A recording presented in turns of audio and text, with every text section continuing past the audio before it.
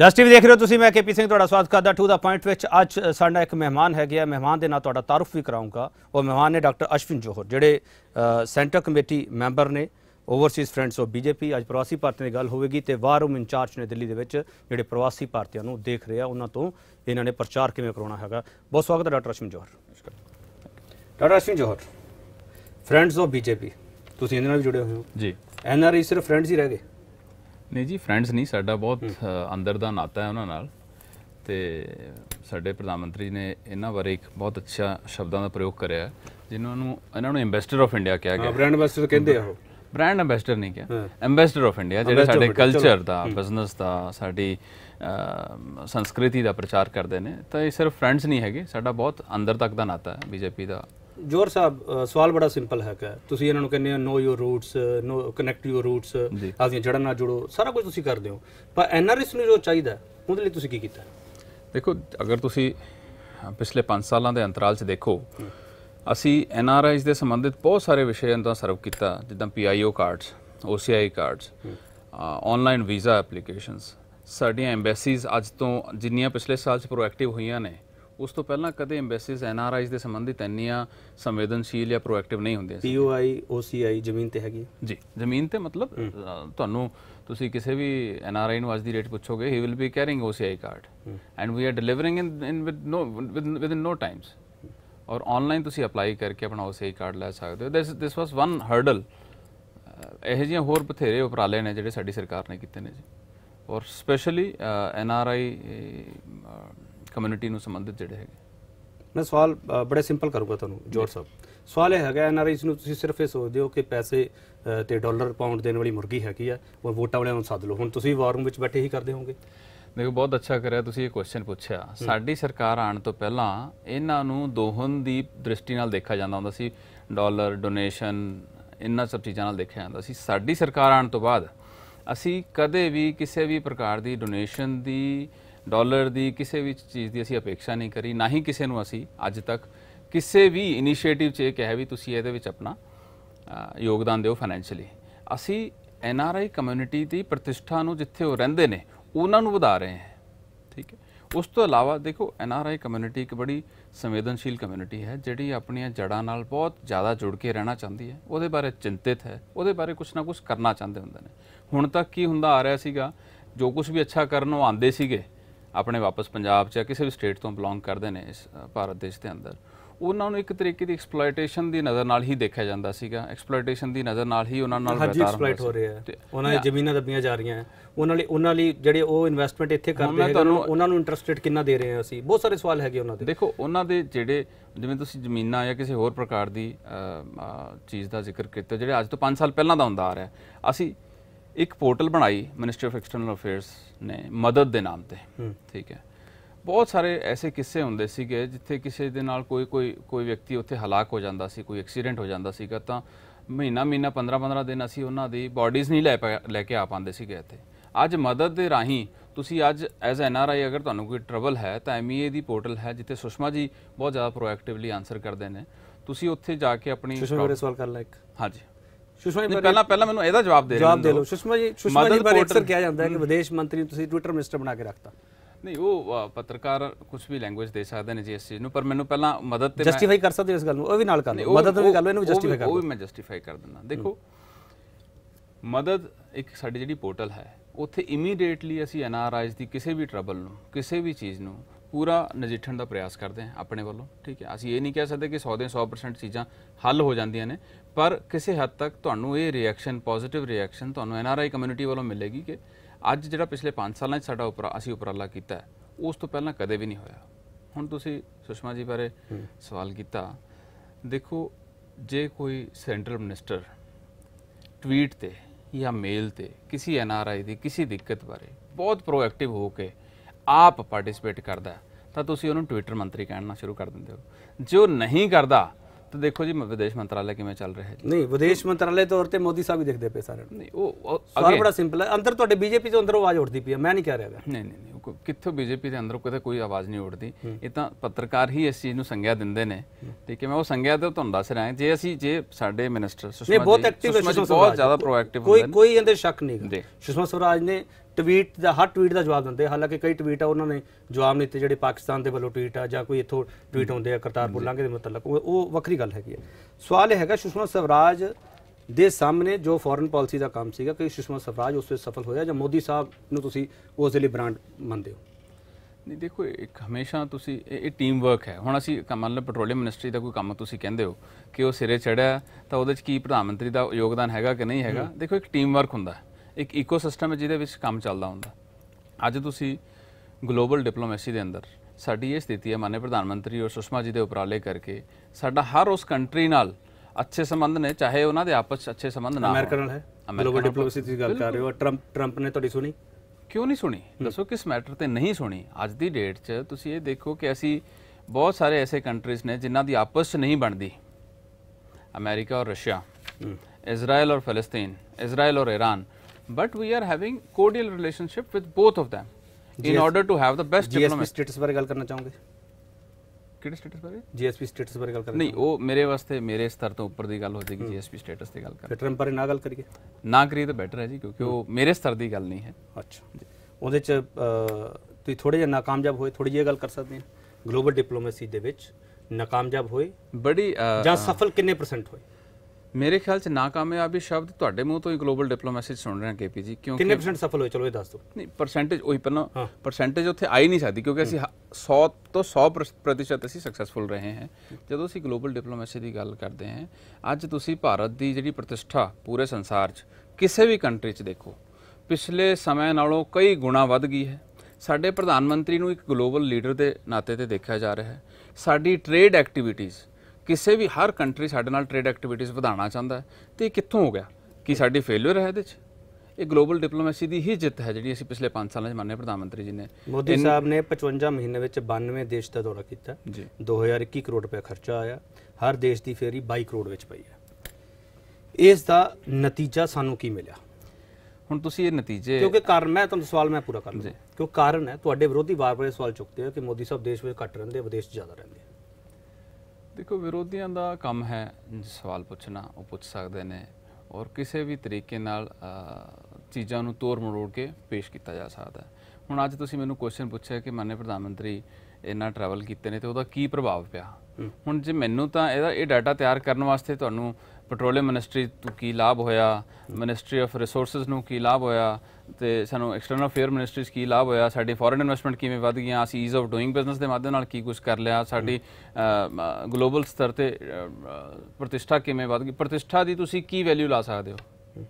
ਤਾਂ ਬਹੁਤ ਸਾਰੀਆਂ ਚੀਜ਼ਾਂ ਪਿਛਲੀ ਸਰਕਾਰ ਨਾਲੋਂ ਮੋਦੀ ਸਰਕਾਰ ਹੈ ਜਿਹੜੀ ਉਹ ਕਾਮਯਾਬ ਹੋਈ ਗਲੋਬਲ ਡਿਪਲੋਮੇਸੀ 'ਚ। ਬਿਲਕੁਲ ਕਾਮਯਾਬ ਹੋਈ। ਸਾਡੇ ਇਸ ਚੀਜ਼ ਦੇ ਚਰਚੇ ਪੂਰੇ ਸੰਸਾਰ 'ਚ ਕੀਤੇ ਜਾਂਦੇ। ਸਾਡੀ ਅੱਜ ਦੀ ਡੇਟ 'ਚ ਜਿਹੜੀ ਗਲੋਬਲ ਡਿਪਲੋਮੇਸੀ ਦੀ ਜਿਹੜੀ ਸਾਡੀ ਰਣਨੀਤੀ ਹੈ ਇਹਦੇ ਚਰਚੇ ਪੂਰੇ ਸੰਸਾਰ 'ਚ ਕੀਤੇ ਜਾਂਦੇ ਨੇ। ਉਹ ਤੁਹਾਡੇ ਇੱਕ ਪ੍ਰਾਈਮ ਮਿਨਿਸਟਰ ਨੂੰ ਇੱਕ ਗਲੋਬਲ ਲੀਡਰ ਦੇ ਨਾਤੇ ਦੇਖਿਆ ਜਾ ਰਿਹਾ ਹੈ ਅੱਜ ਦੀ ਡੇਟ ਤੁਸੀਂ ਇਸ ਚੀਜ਼ ਨੂੰ ਮਹਿਸੂਸ ਕਰ ਸਕਦੇ ਹੋ? ਠੀਕ ਹੈ। ਤੁਸੀਂ ਪੈਟਰੋਲੀਅਮ ਡਿਪਾਰਟਮੈਂਟ ਦੀ ਵਾਰ-ਵਾਰ ਗੱਲ ਕਰਦੇ ਹੋ ਨਹੀਂ ਮੈਂ ਮੈਂ ਪੈਟਰੋਲ ਮੈਂ ਕਿਸੇ ਹੋਰ ਵੀ ਡਿਪਾਰਟਮੈਂਟ ਦੀ ਗੱਲ ਨਹੀਂ, ਨਹੀਂ ਠੀਕ ਹੈ, ਮੈਨੂੰ ਲੱਗਦਾ ਕੋਈ ਜ਼ਿਆਦਾ ਹੀ department ਨਾਲ। ਨਹੀਂ ਨਹੀਂ ਮੇਰੇ ਕਹਿਣ ਦਾ ਭਾਵ ਇਹ ਹੈ ਕਿ ਬਹੁਤ ਸਾਰੀਆਂ ਚੀਜ਼ਾਂ ਜਿਹੜੇ ਸਾਡੇ ਇੰਪੋਰਟਸ ਨੇ ਉਹ ਸਾਡੇ ਬਹੁਤ ਅੱਛੇ ਨੈਗੋਸ਼ੀਏਟਿਵ ਟਰਮਸ ਤੇ ਅਸੀਂ ਇੰਪੋਰਟਸ ਆ ਗਏ ਹਾਂ।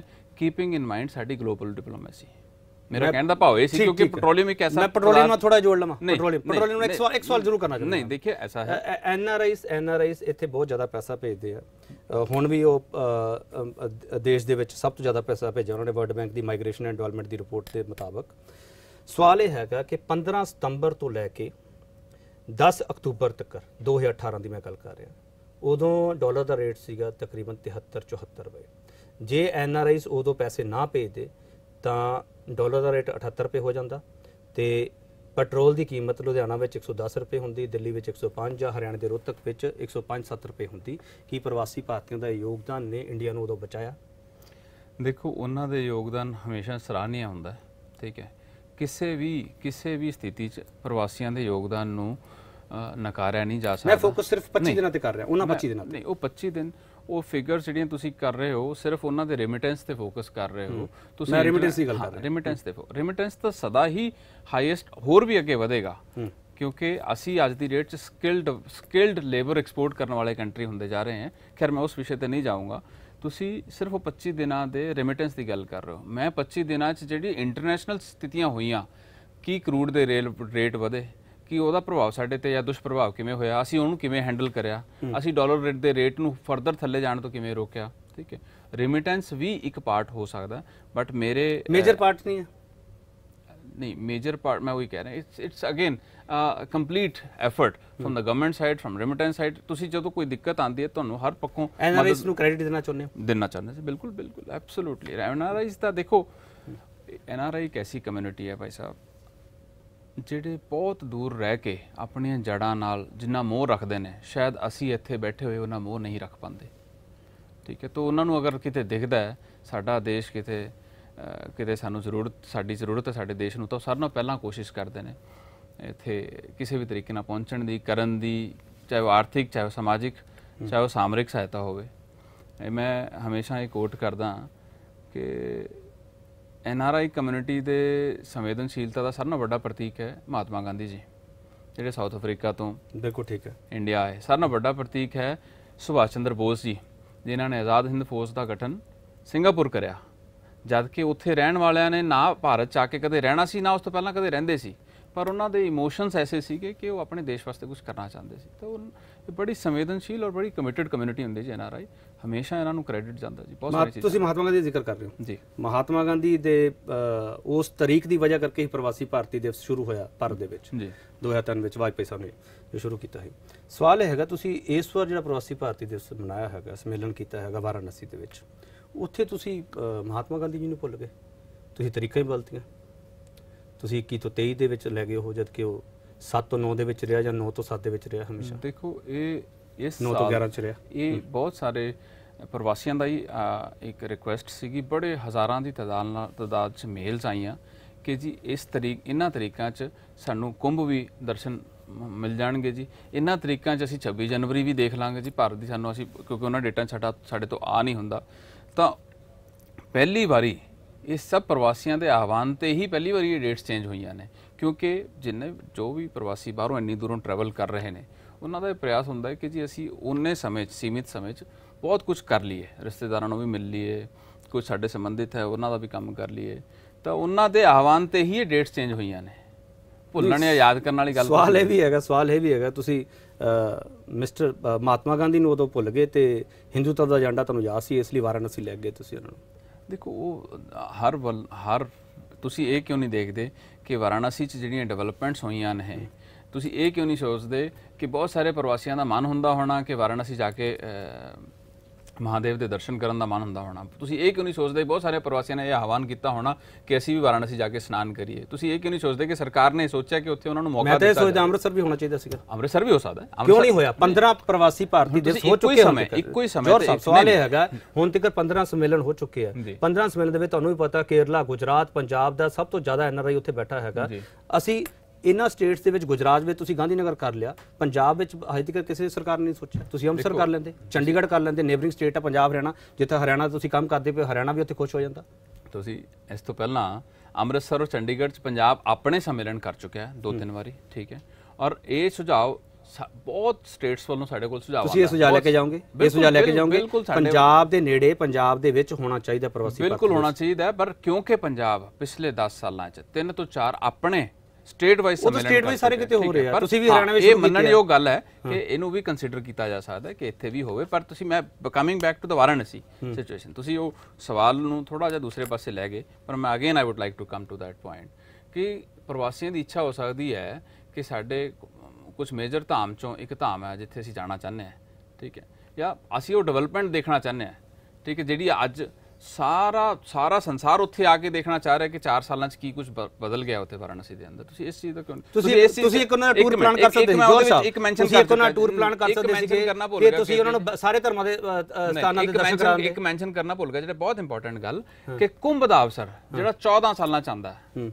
ਠੀਕ ਹੈ ਵਾਰਾਣਸੀ ਤੋਂ ਸਿਰਫ 150 ਕਿਲੋਮੀਟਰ ਦੀ ਦੂਰੀ ਤੇ ਅਗਰ ਉਹਨਾਂ ਨੂੰ 14 ਸਾਲਾਂ ਚ ਆਪਣੇ ਜੀਵਨ ਕਾਲ ਚ ਉੱਥੇ ਨਹਾਉਣ ਦਾ ਉੱਥੇ ਇਸ਼ਨਾਨ ਕਰਨ ਦਾ ਸ਼ੁਭ ਅਵਸਰ ਮਿਲ ਸਕਦਾ ਹੈ ਇਸ ਉਪਰਾਲੇ ਦੇ ਨਾਤੇ। ਤਾਂ ਉਹਦੇ 'ਚ ਕੀ ਬੁਰਾਈ ਰਹੀ?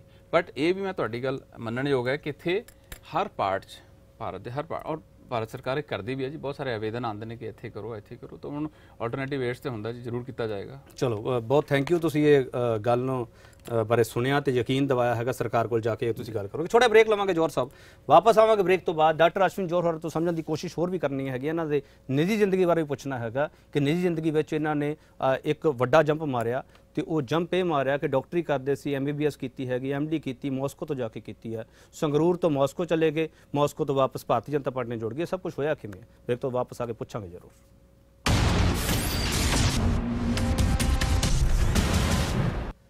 ਵਕਫੇ ਤੋਂ ਬਾਅਦ ਇੱਕ ਵਾਰ ਫਿਰ ਤੁਹਾਡਾ ਸਵਾਗਤ ਹੈ, ਡਾਕਟਰ ਅਸ਼ਵਿਨ ਜੋਰ ਸਾਡੇ ਨਾਲ ਹੈ ਕਿ ਡਾਕਟਰ ਸਾਹਿਬ, ਮੈਂ ਬ੍ਰੇਕ ਤੇ ਜਾਣ ਤੋਂ ਪਹਿਲਾਂ ਗੱਲ ਕੀਤੀ ਸੀ ਐਮਬੀਬੀਐਸ ਕੀਤੀ, ਤੁਸੀਂ ਐਮਡੀ ਕੀਤੀ ਮਾਸਕੋ ਦੇ ਵਿੱਚ ਜਾ ਕੇ।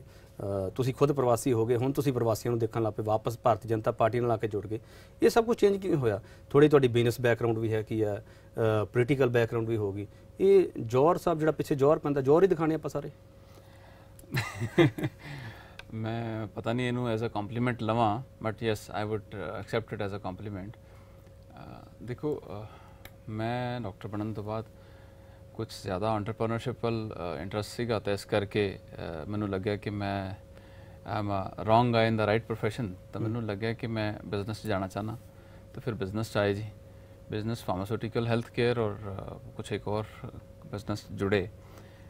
ਆ ਬੀਜੇਪੀ ਦੀ ਆਈਡੀਓਲੋਜੀ ਮੈਨੂੰ ਬਚਪਨ ਤੋਂ I was inclined towards ideology of BJP ਤੇ ਕਿਤੇ ਕਿਤੇ ਮੌਕਾ ਮਿਲਿਆ।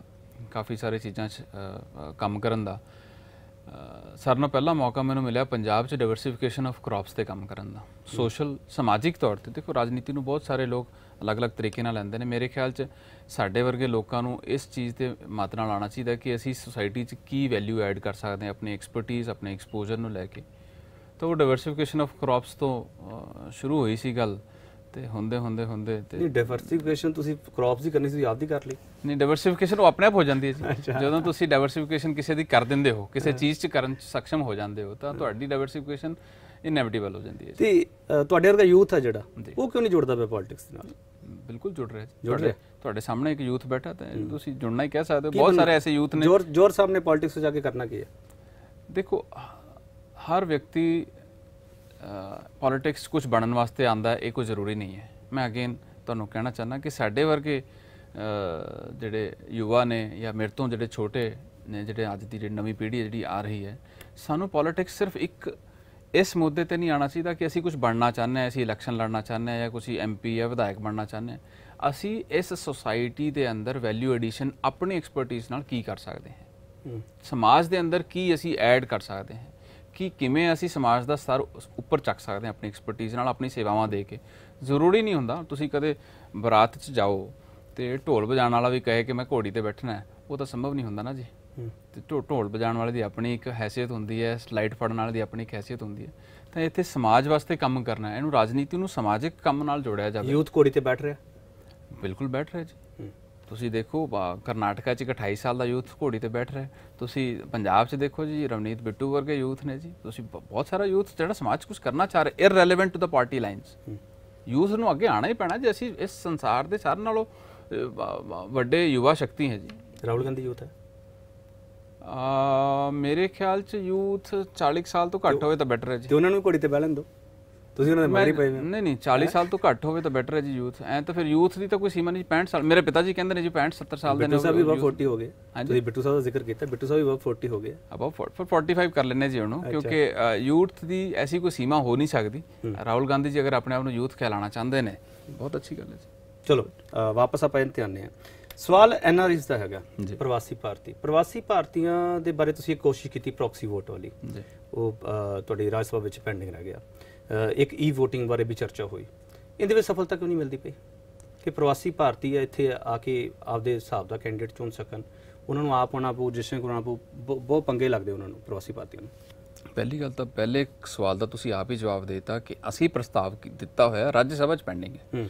ਦੂਸਰਾ ਜਿਹੜਾ ਈ VOTING ਹੈ ਜਿਹੜੇ ਪ੍ਰਵਾਸੀ ਭਾਰਤੀ ਆ ਕੇ ਇੱਥੇ ਵੋਟ ਕਰ ਸਕਣ ਉਹਨਾਂ 'ਚ ਕੋਈ ਪ੍ਰਤੀਬੰਧਤ ਕੋਈ ਕੋਈ ਪ੍ਰਤੀਬੰਧ ਨਹੀਂ ਹੈ। ਜਿਹੜਾ ਭਾਰਤੀ ਜਿਹਦੇ ਕੋਲ ਭਾਰਤੀ ਪਾਸਪੋਰਟ ਹੈ ਉਹ ਇੱਥੇ ਆ ਕੇ ਆਪਣੀ ਵੋਟ ਕਾਸਟ ਕਰ ਸਕਦਾ ਦੂਸਰਾ ਰਜਿਸਟ੍ਰੇਸ਼ਨ ਵਾਸਤੇ ਕਿਸੇ ਨੂੰ ਆਉਣ ਦੀ ਜ਼ਰੂਰਤ ਨਹੀਂ ਹੈ ਇਲੈਕਸ਼ਨ ਕਮਿਸ਼ਨ ਆਫ ਇੰਡੀਆ ਨੇ ਆਨਲਾਈਨ ਰਜਿਸਟ੍ਰੇਸ਼ਨ ਕਰਾਤੀ ਹੈ ਕਿ ਤੁਸੀਂ ਇੱਕ ਵਾਰੀ ਰਜਿਸਟਰ ਵੋਟ ਪਾਉਣ ਲਈ ਤਾਂ ਆਣਾ ਪਊਗਾ ਨਾ ਵੋਟ ਪਾਉਣ ਲਈ ਆਣਾ ਪਏਗਾ ਜਦ ਤੱਕ ਕਿ ਤੁਸੀਂ ਚਾਹੁੰਦੇ ਹੋ ਕਿ ਆਣ ਇਹਦੇ ਨਾਲ ਕੋਈ ਡਾਲਰ ਪਾਉਂਡ ਲਿਆਉਣ ਨਾਲ ਅਗਰ ਐਸਾ ਹੁੰਦਾ ਤਾਂ ਅਸੀਂ ਧੱਕਾ ਮੁੱਕੀ ਕਰਕੇ ਕਿਸੇ ਤਰੀਕੇ ਨਾਲ ਉਹਨੂੰ ਪਾਸਪੋਰਟ ਕਰਾਉਂਦੇ ਜਾਂ ਫਿਰ ਕੋਈ ਆਲਟਰਨੇਟਿਵ ਲਿਆਂਦੇ ਸਾਡੀ ਉਹਦੇ ਵਾਸਤੇ ਕੋਈ ਸਾਡੀ ਅਪੇਖਿਆ ਨਹੀਂ ਇਸ ਪ੍ਰਕਾਰ ਦੀ ਪਰ ਸਾਡਾ ਪ੍ਰਯਾਸ ਹੈ ਕਿ ਉੱਥੇ ਬੈਠੇ ਆਨਲਾਈਨ VOTING ਦਾ ਪ੍ਰਾਵਧਾਨ ਹੋ ਜੇ ਤੇ ਲੱਗਦਾ ਹੈ ਨੀਅਰ ਫਿਊਚਰ 'ਚ ਅਸੀਂ ਉਹਨੂੰ ਕਰ ਪਾਵਾਂਗੇ।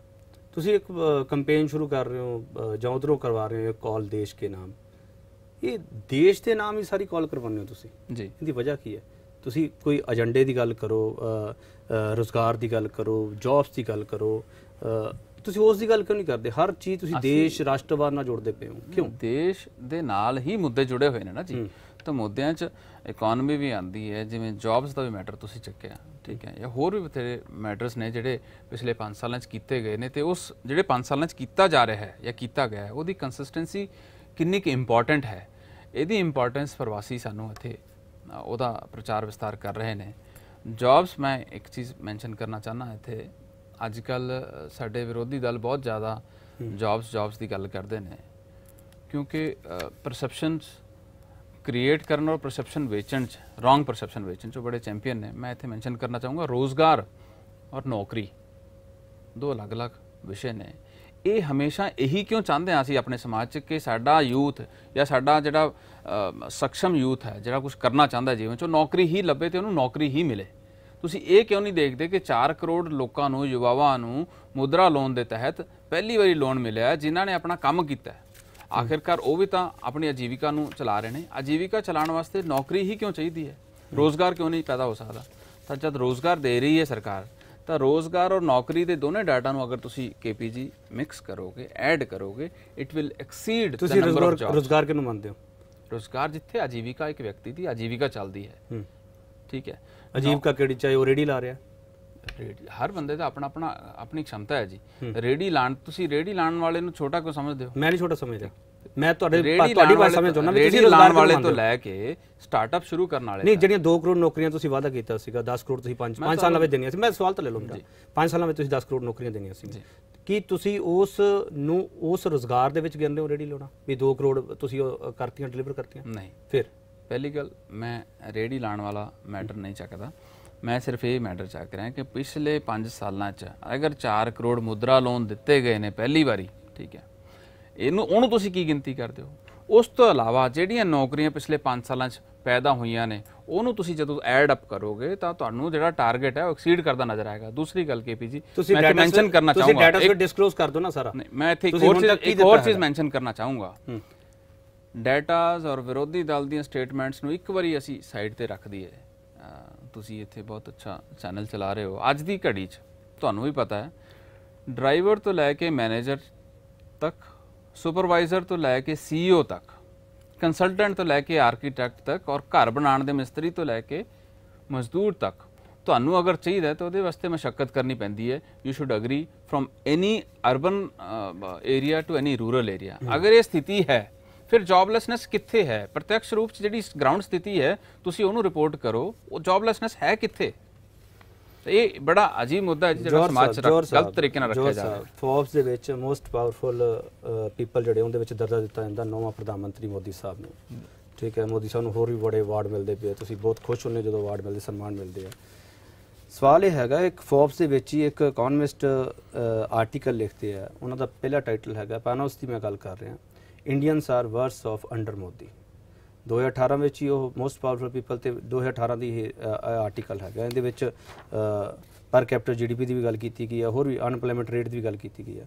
ਸਵਾਲ ਇਹ ਹੈਗਾ ਅਨਪਲੋਇਮੈਂਟ ਰੇਟ ਆ ਵਧਦਾ ਜਾ ਰਿਹਾ ਹੈਗਾ। ਤੁਸੀਂ ਕਹਿ ਰਹੇ ਹੋ ਕਿ ਤੁਸੀਂ ਰੋਜ਼ਗਾਰ ਤੇ ਨੌਕਰੀ ਵਿੱਚ ਫ਼ਰਕ ਕੀ ਸਮਝਦੇ ਹੋ। ਸਵਾਲ ਵਿਰੋਧੀਆਂ ਦੇ ਸਵਾਲ ਨਹੀਂ ਹੈ ਨਹੀਂ, ਨਹੀਂ, ਮੈਂ- ਇਹ- ਕਿਉਂਕਿ ਤੁਸੀਂ ਬਿਜ਼ਨਸ ਨੂੰ ਚੰਗੀ ਤਰ੍ਹਾਂ ਸਮਝਦੇ ਹੋ। ਮੈਂ ਤਾਂ ਕਰਕੇ ਸਵਾਲ ਕੀਤਾ। ਇਹ ਪਿਆ ਆਰਟੀਕਲ ਮੇਰੇ ਤੋਂ ਲੈ ਵੀ ਜਾਈਓ ਪੜ੍ਹ ਲਿਓ ਉਹਨੂੰ। ਇਹ ਆਰਟੀਕਲ ਕਿਹਨੇ ਲਿਖਿਆ ਹੋਇਆ ਜੀ? ਹੂੰ। ਕਿਹਨੇ ਲਿਖਿਆ ਮੈਂ ਜਾਣਨਾ ਚਾਹੂੰਗਾ ਆ ਲਓ ਜੀ ਤੁਹਾਡੇ ਸਾਹਮਣੇ ਕਿਹਨੇ ਲਿਖਿਆ? ਲਓ ਲਓ ਪੜ੍ਹ ਲਓ ਮੈਨੂੰ ਇਹਦਾ ਆਰਟੀਕਲ ਦਾ ਕੋਈ ਲਓ ਆਥਰ ਦੱਸਿਓ ਕੌਣ ਆਥਰ ਵੀ ਲਓ ਆਥਰ ਦੀ ਮੈਂ ਕੋਈ ਡਿਟੇਲ ਨਹੀਂ ਹੈ ਲਓ ਪੜ੍ਹ ਲਓ ਪੂਰਾ ਟਾਈਮ ਦੇ ਰਿਹਾ ਤੁਹਾਨੂੰ ਕੋਈ ਗੱਲ ਨਹੀਂ ਦਰਸ਼ਕ ਵੇਟ ਕਰ ਲੈਣਗੇ ਸਾਡੇ ਕਰਦੇ ਵੇਟ ਨਹੀਂ ਨਹੀਂ ਬਿਲਕੁਲ ਇੱਥੇ ਕਿਸੇ ਵੀ ਜਿਹਨੇ ਜਿਹਨੇ ਵੀ ਆਰਟੀਕਲ ਲਿਖਿਆ ਹੈ ਨਾ ਉਹ ਭਾਰਤ ਦੀ ਧਰਤੀ ਤੋਂ ਹੈ ਨਾ ਉਹ ਭਾਰਤ ਦੀ ਧਰਤੀ ਤੇ ਕਿਸੇ। ਮੈਂ ਮੈਂ ਕੋਈ ਸ਼ਬਦ ਯੂਜ਼ ਨਹੀਂ ਕਰ ਰਿਹਾ ਜੀ ਨਾ ਉਹ ਕਿਸੇ ਭਾਰਤ ਦੀ ਧਰਤੀ ਤੋਂ ਨਾ ਭਾਰਤ ਦੇ ਕਿਸੇ ਪ੍ਰੈਕਟੀਕਲ ਗਰਾਊਂਡ ਰਿਐਲਿਟੀਜ਼ ਨਾਲ ਪਰਿਚੈ ਹੋ ਸਕਦਾ ਠੀਕ ਹੈ। ਤੁਸੀਂ ਇਹਦੀ ਬਜਾਏ ਤੁਸੀਂ ਸਰਕਾਰ ਦੇ ਇਹਨੂੰ ਤੁਸੀਂ ਪ੍ਰਧਾਨ ਸਮਝ ਰਹੇ ਹੋ ਤੇ ਜਿਹੜੇ ਸਰਕਾਰ ਦੇ ਡਾਟਾ ਨੇ ਉਹਨਾਂ ਨੂੰ ਤੁਸੀਂ ਕੁਐਸਚਨ ਕਰਦੇ ਹੋ ਠੀਕ ਹੈ। ਇਹ ਬੇਸਿਕਲੀ ਅੱਜ ਦੀ ਡੇਟ ਅੱਜ ਅਗਰ ਤੁਸੀਂ ਚਾਹੋ ਸਰਕਾਰ ਮੰਨਦੀ ਹੈ ਸਰਕਾਰ ਮੰਨਦੀ ਹੈ ਕਿ ਉਹਨਾਂ ਨੇ ਰੋਜ਼ਗਾਰ ਦੇ ਮਾਮਲੇ ਵਿੱਚ ਆਪਣੇ ਵਾਅਦੇ ਪੂਰੇ ਕੀਤੇ। ਬਿਲਕੁਲ ਪੂਰੇ ਕੀਤੇ ਨੇ ਔਰ ਮੈਂ ਮੇਰਾ ਇਹ ਨਿੱਜੀ ਵੀ ਓਪੀਨੀਅਨ ਹੈ ਕਿ ਅਸੀਂ ਰੋਜ਼ਗਾਰ ਦੇ ਮਾਮਲੇ 'ਚ ਐਕਸੀਡ ਕੀਤੇ ਹਾਂ ਜੀ ਰਿਕੁਆਇਰਡ ਨੰਬਰ ਤੋਂ। ਅਗਰ ਤੁਸੀਂ ਕੇਪੀ ਜੀ ਦੋਨੇ ਮੈਂ ਦੁਬਾਰਾ ਅਗੇਨ ਤੁਹਾਨੂੰ ਪ੍ਰਾਰਥਨਾ ਕਰਨਾ ਚਾਹਨਾ ਦੋਨੇ ਨੰਬਰਸ ਨੂੰ ਤੁਸੀਂ ਐਡ ਅਪ ਕਰੋ ਤਾਂ ਅਸੀਂ ਐਕਸੀਡ ਕੀਤੇ ਹੈ। ਜਿੰਨੀ EMPLOYMENT ਪਿਛਲੇ 5 ਸਾਲਾਂ 'ਚ ਚਾਹੀਦੀ ਸੀ ਉਸ ਤੋਂ ਵੱਧ ਦਿੱਤੀ ਗਈ ਹੈ। ਪਰ ਕਿਉਂਕਿ ਫਾਲਸ ਪ੍ਰੋਪਾਗੈਂਡਾ ਹੁਣ ਆ ਕੋਈ ਵਿਦੇਸ਼ੀ ਪੱਤਰਕਾਰ ਕਿਸੇ ਇੱਕ ਮੈਟਰ ਤੇ ਲਿਖ ਦਿੰਦਾ ਜਿਹਨੂੰ ਇੱਥੇ ਦੇ ਮਤਲਬ ਡਾਟਾ ਤਾਂ ਸਵਾਲ ਕਰਨਾ ਕਿਉਂਕਿ ਤੁਸੀਂ ਪ੍ਰਵਾਸੀਆਂ ਦੀ ਗੱਲ ਕਰ ਰਹੇ ਹੋ ਫਿਰ ਵਿਦੇਸ਼ੀ ਦੀ ਗੱਲ ਤਾਂ ਕਰਨੀ ਪੈਂਦੀ ਹੈ ਵਿਦੇਸ਼ੀ ਔਰ ਪ੍ਰਵਾਸੀ ਦੋਨਾਂ 'ਚ ਅੰਤਰ ਹੈ। ਨਹੀਂ ਜਿਹੜਾ ਫੋਰਬਸ ਤੁਹਾਨੂੰ ਨਵਾਂ ਨੰਬਰ ਦੇ ਰਿਹਾ ਉਹ ਤੁਸੀਂ ਐਕਸੈਪਟ ਕਰ ਰਹੇ ਹੋ ਇਹ ਆਰਟੀਕਲ ਐਕਸੈਪਟ ਨਹੀਂ ਇਹ ਵੀ ਉੱਥੇ ਲੱਗਿਆ ਹੋਇਆ। ਨਹੀਂ ਫੋਰਬਸ ਲੱਗਿਆ ਹੋਇਆ ਤੁਸੀਂ ਫੋਰਬਸ ਦੇ ਅੰਦਰ ਇਹ ਆਰਟੀਕਲ ਨਹੀਂ ਲੱਗਿਆ ਹੋਇਆ ਕਾਈਂਡਲੀ ਤੁਸੀਂ ਇਹਨੂੰ ਚੈੱਕ ਕਰੋ ਪਲੀਜ਼ ਮੈਂ ਉੱਥੇ ਲਿਆਇਆ ਕੱਢ ਕੇ ਤੁਸੀਂ ਚੈੱਕ ਕਰ ਲਿਓ। ਜੀ। ਤੁਸੀਂ ਚੈੱਕ ਕਰ ਲਿਓ। ਜੋਰ ਸਾਹਿਬ ਜੋਰ ਸਾਹਿਬ ਸਵਾਲ ਇਹ ਹੈਗਾ ਚਲੋ ਠੀਕ ਹੈ ਕਈ ਚੀਜ਼ਾਂ ਦਾ ਜਵਾਬ ਤੁਸੀਂ ਨਹੀਂ ਦੇ ਸਕਦੇ ਕਿ ਤੁਹਾਡੀ ਉਹ ਲਾਈਨ ਤੋਂ ਉੱਪਰ ਵੀ ਹੋ ਸਕਦੀ ਸਵਾਲ ਇਹ ਹੈਗਾ ਤੁਸੀਂ ਸੰਗਰੂਰ ਤੋਂ ਸਿੱਧਾ ਮਾਸਕੋ ਉੱਡ ਗਏ ਤੇ ਮਾਸਕੋ ਤੋਂ ਬਾਅਦ ਫਿਰ ਹਰਿਆਣਾ ਆ ਗਏ। ਮੈਨੂੰ ਸਮਝ ਨਹੀਂ ਆਈ ਕਹਾਣੀ ਇਹ ਕੀ ਹੋਇਆ ਕੀ ਹੈ? ਨਹੀਂ ਹਰਿਆਣਾ ਦੇ ਵਿੱਚ ਆ ਕੇ ਤੁਸੀਂ ਪ੍ਰਵਾਸੀ ਸੰਮੇਲਨ ਕਰਾਉਣੇ ਸ਼ੁਰੂ ਕਰਤੇ ਉੱਥੇ ਡਾਟਾ ਕਲੈਕਟ ਕਰਨਾ ਸ਼ੁਰੂ ਕਰਤਾ। ਕੀ ਲੋੜ ਪੈ ਗਈ ਸੀ? ਪੰਜਾਬ ਵਿੱਚ ਤੁਸੀਂ ਰਹਿੰਦੇ ਸੀਗੇ ਮੈਨੂੰ ਸਮਝ ਨਹੀਂ ਆਈ ਕਹਾਣੀ। ਨਹੀਂ ਇਹ ਜਿੱਦਾਂ ਜਿੱਦਾਂ ਸਾਡੀ ਪਾਰਟੀ ਦੇ ਆਦੇਸ਼ ਹੁੰਦੇ ਨੇ ਮੈਂ ਬੜਾ ਖੁਸ਼ ਨਸੀਬ ਰਿਹਾ ਜੀ ਕਿ ਮੈਨੂੰ ਮੁੱਖ ਮੰਤਰੀ ਹਰਿਆਣਾ ਸ਼੍ਰੀ ਮਨੋਹਰ ਲਾਲ ਜੀ ਨਾਲ ਕੰਮ ਕਰਨ ਦਾ ਮੌਕਾ ਮਿਲਿਆ। ਉਹਨਾਂ ਦੇ ਵਿਚਾਰ 'ਚ ਇੱਕ ਗੱਲ ਆਈ ਕਿ ਹਰਿਆਣਾ ਡਾਇਸਪੋਰਾ ਕਦੇ ਉਸ ਤੋਂ ਪਹਿਲਾਂ, ਉਹਨਾਂ ਤੋਂ ਪਹਿਲਾਂ ਕਿਸੇ ਨੇ ਸੋਚਿਆ ਨਹੀਂ ਸੀ ਕਿ ਹਰਿਆਣਾ ਦੇ ਵੀ ਕੋਈ ਐਨਆਰਆਈ ਹੁੰਦੇ ਨੇ। ਤੇ ਹਰਿਆਣਾ ਦੇ ਐਨਆਰਆਈ ਨੂੰ ਇੱਕ ਪਲੇਟਫਾਰਮ ਤੇ ਕਿਵੇਂ ਇਕੱਠਾ ਕਰਿਆ ਜਾਵੇ, ਇਹ ਪਹਿਲੀ ਵਾਰੀ ਸ਼੍ਰੀ ਮਨੋਹਰ ਲਾਲ ਜੀ ਨੇ ਇਹਦਾ ਉਪਰਾਲਾ ਲਿੱਤਾ ਜੀ। ਔਰ ਉਹਨਾਂ ਨੇ ਇਸ ਕੰਮ ਵਾਸਤੇ ਮੇਰੀ ਡਿਊਟੀ ਲਗਾਈ। ਤੁਸੀਂ ਸਲਾਹ ਪਹਿਲੀ ਦਿੱਤੀ ਵਾਰੀ- ਨਹੀਂ, ਖੱਟਰ ਸਾਹਿਬ ਨੇ ਤੁਹਾਨੂੰ ਸਲਾਹ ਦਿੱਤੀ ਹੈ? ਨਹੀਂ ਇਹ ਉਹਨਾਂ ਦਾ ਆਪਣਾ ਵਿਚਾਰ ਸੀਗਾ। ਮੈਨੂੰ ਉਹਨਾਂ ਨੇ ਇਸ ਕੰਮ ਤੇ ਲਾਇਆ ਸੀਗਾ। ਠੀਕ ਹੈ ਇਹ ਉਹਨਾਂ ਦਾ ਆਪਣਾ ਵਿਚਾਰ ਸੀ। ਉਸ ਤੋਂ ਬਾਅਦ ਉਹਨਾਂ ਨੇ ਬਹੁਤ ਭਵਿਆ ਇੱਕ ਹਰਿਆਣਾ ਪ੍ਰਵਾਸੀ ਦਿਵਸ ਕਰਾਇਆ ਜਿਹਦੇ ਵਿੱਚ ਤੁਸੀਂ ਕਲਪਨਾ ਤੋਂ ਪਰੇ ਲੋਕਾਂ ਦੀ ਪਾਰਟਿਸਿਪੇਸ਼ਨ ਹੋਈ। ਔਰ ਜਿਹੜੇ ਹਰਿਆਣਾ ਮੂਲ ਤੋਂ ਜਿਹੜੇ ਐਨਆਰਆਈ ਸੀਗੇ ਉਹਨਾਂ ਦੀ ਜੇ ਤੁਸੀਂ ਪ੍ਰਤੀਕਿਰਿਆ ਉਹਨਾਂ ਦੇ ਰਿਐਕਸ਼ਨਸ ਅਗਰ ਕੁਝ ਤੁਸੀਂ ਦੇਖਦੇ ਉਹਨਾਂ ਨੂੰ ਇਹ ਲੱਗਾ ਕਿ ਇਸ ਤੋਂ ਪਹਿਲਾਂ ਅੱਜ ਤੱਕ 50 ਸਾਲਾਂ 'ਚ ਸਾਨੂੰ ਕਿਸੇ ਨੇ ਕਦੇ ਪੁੱਛਿਆ ਹੀ ਨਹੀਂ ਕਿ ਹਰਿਆਣਾ ਤੋਂ ਵੀ ਕੋਈ ਐਨਆਰਆਈ ਰਹਿੰਦੇ ਨੇ। ਉਹਦਾ ਪ੍ਰਭਾਵ ਚੰਗਾ ਪ੍ਰਭਾਵ ਇਹ ਰਿਹਾ ਕਿ ਤਕਰੀਬਨ 48 ਐਨਆਰਆਈਜ਼ ਨੇ ਡਿਫਰੈਂਟ ਡਿਫਰੈਂਟ ਸੋਸ਼ਲ ਕੰਮਾਂ ਨੂੰ ਆਪਣੇ ਹੱਥ 'ਚ ਲਿੱਤਾ ਜਿਹਦੇ 'ਚ ਪਿੰਡਾਂ 'ਚ ਲਾਇਬ੍ਰੇਰੀਆਂ ਖਲਵਾਉਣੀਆਂ ਬੱਚਿਆਂ ਨੂੰ ਪੜ੍ਹਾਈ ਕਰਵਾਉਣੀ ਪਿੰਡ ਅਡਾਪਟ ਕਰਨੇ ਸਟਰੀਟ ਲਾਈਟਸ ਲਗਵਾਉਣੀਆਂ ਹਰ ਪ੍ਰਕਾਰ ਦੇ ਸੋਸ਼ਲ ਉੱਥੇ ਬੈਠੇ ਉਹਨਾਂ ਨੇ ਹਰਿਆਣਾ ਦੇ ਅੰਦਰ ਬਹੁਤ ਸਾਰੇ ਐਸੇ ਕੰਮ ਸ਼ੁਰੂ ਕੀਤੇ ਕਿਉਂਕਿ ਉਹ ਉਤਸ਼ਾਹਿਤ ਹੋਏ ਕਿ ਸਾਡਾ ਵੀ ਅੱਜ ਦੀ ਡੇਟ 'ਚ ਕੋਈ ਆਇਡੈਂਟੀਟੀ ਹੈ। ਤਾਂ ਇਹ ਸ਼੍ਰੀ ਮਨੋਹਰ ਲਾਲ ਜੀ ਦਾ ਬਹੁਤ ਸ਼ੁਰੂ ਕੀਤਾ ਸੀ ਕੰਮ ਜਦੋਂ ਖੱਟਰ ਸਾਹਿਬ ਨੇ ਤੁਹਾਨੂੰ ਕਿਹਾ। ਜੀ। ਹਾਂ। ਜੋਰ ਸਾਹਿਬ ਜਦੋਂ ਤੁਸੀਂ ਪਹਿਲੀ ਅੰਦਰ ਰਿਸਰਚ ਕਰਨੀ ਸ਼ੁਰੂ ਕੀਤੀ ਕਿਵੇਂ ਪਤਾ ਲੱਗਾ ਕਿ ਹਰਿਆਣੇ ਦੇ ਐਨਆਰਆਈ ਉੱਥੇ ਬੈਠੇ ਹੋਏ ਆ ਤੇ ਕਿੰਨੇ ਹੁਣ ਤੱਕ ਤੁਸੀਂ ਰਜਿਸਟ੍ਰੇਸ਼ਨ ਉਹਨਾਂ ਦੀ ਕਰਵਾ ਚੁੱਕੇ ਹੋ ਜਾਂ ਕਿੰਨੇ ਤੁਹਾਨੂੰ ਪਤਾ ਲੱਗ ਗਿਆ ਕਿ ਭਾਈ ਸਾਡੇ ਕੋਲੇ ਇੰਨੇ ਐਨਆਰਆਈ ਹੈਗੇ ਆ ਜਾਂ ਹਜੇ ਕੰਮ ਪੈਂਡਿੰਗ ਹੈਗਾ? ਦੇਖੋ ਕਿਉਂਕਿ ਸ਼੍ਰੀ ਮਨੋਹਰ ਲਾਲ ਜੀ ਤੋਂ ਪਹਿਲਾਂ ਕਿਸੇ ਨੇ ਇਸ ਇਸ ਡਾਇਰੈਕਸ਼ਨ 'ਚ ਕੋਈ ਐਫਰਟ ਨਹੀਂ ਕੀਤਾ ਸੀ। ਇਸ ਕਰਕੇ ਹਰਿਆਣਾ ਦਾ ਡਾਇਸਪੋਰਾ ਜਿਹੜਾ ਹੈ ਨਾਰੇ ਬਹੁਤ ਸਕੈਟਰਡ ਹੈ। ਠੀਕ। ਤੇ ਪਰ ਜਿੰਨੇ ਵੀ ਸਾਡੇ ਪ੍ਰਯਾਸਾਂ ਨਾਲ ਅੱਜ ਦੀ ਰੇਟ 'ਚ ਤਕਰੀਬਨ 16000 ਅਹ, ਸਾਡੇ ਨਾਲ ਰਜਿਸਟਰਡ ਨੇ। ਉਹ ਮੈਂ ਦੱਸਣਾ ਚਾਹੂੰਗਾ ਕਿ ਮੁੱਖ ਮੰਤਰੀ ਹਰਿਆਣਾ ਦੀ ਜਿਹੜੀ ਵਰਕਿੰਗ ਹੈ ਉਹਨਾਂ ਨੇ ਹਰ ਡੀਸੀ ਹਰ ਡਿਸਟ੍ਰਿਕਟ ਦੇ ਡੀਸੀ ਤੋਂ ਇਹ ਡਾਟਾ ਕਢਵਾਇਆ ਜਿਹੜੇ ਜਿਨ੍ਹਾਂ ਨੇ ਵੀ ਸੂਚਿਤ ਕੀਤਾ ਹੋਇਆ ਸੀ ਜਿਹੜੇ ਪ੍ਰਵਾਸੀ ਰਹਿੰਦੇ ਨੇ। ਉਸ ਤੋਂ ਬਾਅਦ ਉਹਨਾਂ ਨੂੰ ਚਿੱਠੀ ਭੇਜ ਕੇ ਮੇਲ ਭੇਜ ਕੇ ਉਹਨਾਂ ਨੂੰ ਕਿਹਾ ਤੁਸੀਂ ਰਜਿਸਟਰਡ ਕਰੋ। ਤਾਂ 16000 ਦੇ ਆਸ-ਪਾਸ ਜਦ ਤੱਕ ਮੈਂ ਕੰਮ ਕਰ ਰਿਹਾ ਸੀ ਉੱਥੇ 16000 ਦੇ ਆਸ-ਪਾਸ ਸਾਡੇ ਨਾਲ ਐਨਆਰਆਈ ਰਜਿਸਟਰਡ ਨੇ ਜੀ। ਔਰ 4000 ਦੇ ਆਸ-ਪਾਸ ਦੀ ਪਾਰਟਿਸਿਪੇਸ਼ਨ ਹੋਈ ਸੀ ਹਰਿਆਣਾ ਪ੍ਰਵਾਸੀ ਦਿਵਸ ਦੇ ਅੰਦਰ। ਉਸ ਤੋਂ ਇਲਾਵਾ ਜਿਹੜੀ ਅੱਛੀ ਗੱਲ ਦੇਖਣ ਦੀ ਮਿਲੀ, ਮੈਂ ਅਗੇਨ ਦੁਬਾਰਾ ਇਸ ਚੀਜ਼ ਦਾ ਉਲੇਖ ਕਰਨਾ ਚਾਹੂੰਗਾ ਕਿ N R I community of Haryana ਨੇ ਜਿਹੜਾ ਕੰਮ ਆਪਣੇ ਹੱਥ ਲਿੱਤਾ ਸਮਾਜਿਕ, ਉਹ ਮੁੱਖ ਮੰਤਰੀ ਨੇ ਵੀ ਹਰੇਕ ਨੂੰ ਇਸ ਚੀਜ਼ ਦਾ ਆਹਵਾਨ ਕੀਤਾ ਵੀ ਜਿੱਥੋਂ ਤੁਸੀਂ ਬਿਲੋਂਗ ਕਰਦੇ ਹੋ ਜਿਹੜੇ ਪਿੰਡ ਤੋਂ, ਜਿਹੜੇ ਸ਼ਹਿਰ ਤੋਂ ਤੁਸੀਂ ਬਿਲੋਂਗ ਕਰਦੇ ਹੋ ਤੁਸੀਂ ਉਹਦੇ ਉત્ਥਾਨ ਵਾਸਤੇ, ਉਹਦੀ ਭਲਾਈ ਵਾਸਤੇ ਜੋ ਕੁਝ ਵੀ ਕਰ ਸਕੋ, ਤਾਂ ਤੁਹਾਡਾ ਵੈਲਕਮ ਹੈ। ਇੱਕ ਜਿਹੜਾ ਪ੍ਰਵਾਸੀ ਭਾਰਤੀ ਦਿਵਸ ਤੁਸੀਂ ਉੱਥੇ ਮਨਾਇਆ ਹੈਗਾ ਹਰਿਆਣਾ ਦੇ ਵਿੱਚ ਜਾਟ ਅੰਦੋਲਨ ਕਰਕੇ ਇੱਕ ਤੁਹਾਨੂੰ ਪੋਸਟਪੋਨ ਵੀ ਕਰਨਾ ਪਿਆ। ਨੁਕਸਾਨ ਹੋਇਆ ਉਸ ਚੀਜ਼ ਦਾ?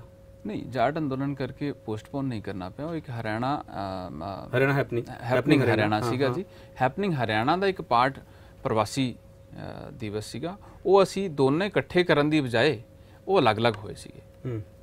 ਜਾਟ ਅੰਦੋਲਨ ਦਾ ਇੰਪੈਕਟ ਪਿਆ ਕੋਈ? ਨਹੀਂ ਨਹੀਂ ਜਾਟ ਅੰਦੋਲਨ ਦਾ ਕੋਈ ਇੰਪੈਕਟ ਨਹੀਂ ਸੀ ਬਲਕਿ ਤੁਸੀਂ ਇਸ ਚੀਜ਼ ਦੀ ਅਗਰ ਤੁਸੀਂ if you go back to the times ਉਹਦਾ ਸਕਾਰਾਤਮਕ ਪ੍ਰਭਾਵ ਪਿਆ ਜੀ ਹੈਪਨਿੰਗ ਹਰਿਆਣਾ ਦਾ। ਜਾਟ ਅੰਦੋਲਨ ਤੋਂ ਬਾਅਦ ਜਿਹੜੀ ਥੋੜੀ ਬਹੁਤ ਨੈਗੇਟਿਵਿਟੀ ਸੀਗੀ ਉਹ ਹੈਪਨਿੰਗ ਹਰਿਆਣਾ ਹੈਪਨਿੰਗ ਹਰਿਆਣਾ ਨੇ ਸਾਰੀ 네ਗੇਟਿਵਿਟੀ ਧੋਤੀ। ਇਹ ਵੀ ਕਿੰਨਾ ਵੱਡਾ ਉਪਰਾਲਾ ਕਰਨਾ ਇੰਨੀ ਵੱਡੀ ਸ਼ੁਰੂਆਤ ਕਰਨਾ ਆਪਣੇ ਆਪ 'ਚ ਇੱਕ ਸਰਾਹਨੀय ਗੱਲ ਥੋੜਾ ਜਿਹਾ ਲੱਗਦਾ ਕਿ 5 ਸਾਲਾਂ ਵਿੱਚ 21 ਸੰਮੇਲਨ ਕਰਾ ਸਕੇ। ਖੱਟਰ ਸਾਹਿਬ 5 ਸਾਲ ਵਿੱਚ 21 ਸੰਮੇਲਨ ਕਰਾ ਸਕੇ ਹੋਰ ਕਰਾ ਸਕਦੇ 3 ਸਾਲ ਪਹਿਲਾਂ ਅਸੀਂ ਹਰਿਆਣਾ ਪ੍ਰਵਾਸੀ ਦਿਵਸ ਕਰਿਆ। ਉਸ ਤੋਂ ਬਾਅਦ ਮੇਰੇ ਖਿਆਲ ਚ ਹੁਣ ਇਲੈਕਸ਼ਨ ਤੋਂ ਬਾਅਦ ਕਿਉਂਕਿ ਮੈਂ ਹੁਣ ਹਰਿਆਣਾ ਚ ਐਕਟਿਵ ਨਹੀਂ ਹੈਗਾ ਜੀ ਮੇਰੇ ਖਿਆਲ ਚ they would be planning something no planning ਅੱਗੇ ਚੱਲਦੀ ਰਹੂਗੀ ਨਾ। ਹਾਂਜੀ, ਹਰਿਆਣੇ ਦੇ ਪ੍ਰਵਾਸੀ ਆਉਂਦੇ ਰਹਿਣਗੇ ਨਾ ਅੱਦੇ ਹੋਰ ਉਹ ਕਹਿਣਗੇ ਜੋਰ ਸਾਹਿਬ ਚੱਲੇਗਾ ਹੁਣ ਸਾਨੂੰ ਕਿੰਨੇ ਨਹੀਂ ਨਹੀਂ ਨਹੀਂ ਇਹ ਇਹ ਜੋਰ ਸਾਹਿਬ ਦਾ ਨਹੀਂ ਉਪਰਾਲਾ ਸੀ ਕਿ ਮਾਨਯ ਮੁੱਖ ਮੰਤਰੀ ਦਾ ਜੀ ਉਹ ਅੱਗੇ ਪਲਾਨ ਇਸ ਤਰੀਕੇ ਨਾਲ ਕਰ ਰਹੇ ਨੇ। ਚਲੋ ਇੱਕ ਹੋਰ ਛੋਟਾ ਬ੍ਰੇਕ ਲਵਾਂਗੇ ਇੱਕ ਹੋਰ ਛੋਟਾ ਬ੍ਰੇਕ ਲਵਾਂਗੇ ਬ੍ਰੇਕ ਤੋਂ ਵਾਪਸ ਆਵਾਂਗੇ ਡਾਕਟਰ ਅਸ਼ਵਿਨ ਜੋਰ ਸਾਡੇ ਨਾਲ ਹੈ ਕੀ ਹੈ ਇਹਨਾਂ ਤੋਂ ਸਵਾਲ ਬਹੁਤ ਸਾਰੇ ਅਸੀਂ ਲਏ ਹੈਗੇ ਤੇ ਹੋਰ ਵੀ ਲੈਣੇ ਹੈਗੇ ਆ। ਸਵਾਲ ਇਹ ਵੀ ਲਵਾਂਗੇ ਕਿ ਡੀਮੋਨਟਾਈਜੇਸ਼ਨ ਜਦੋਂ ਨੋਟਬੰਦੀ ਹੋਈ ਸੀ ਉਦੋਂ ਪ੍ਰਵਾਸੀਆਂ ਦੇ ਦੁਖੜੇ ਕਿਉਂ ਨਹੀਂ ਸੁਣੇ ਉਦੋਂ ਡਾਕਟਰ ਅਸ਼ਵਿਨ ਜੋਰ ਹਰੀ ਕਿੱਥੇ ਸੀਗੇ ਸਰਕਾਰ ਉਹਨਾਂ ਦੀ ਗੱਲ ਕਿਉਂ ਨਹੀਂ ਸੁਣਦੀ ਸੀ ਪ੍ਰਵਾਸੀਆਂ ਦੀ ਬ੍ਰੇਕ ਤੋਂ ਵਾਪਸ ਆ ਕੇ ਪੁੱਛਾਂਗੇ ਜ਼ਰੂਰ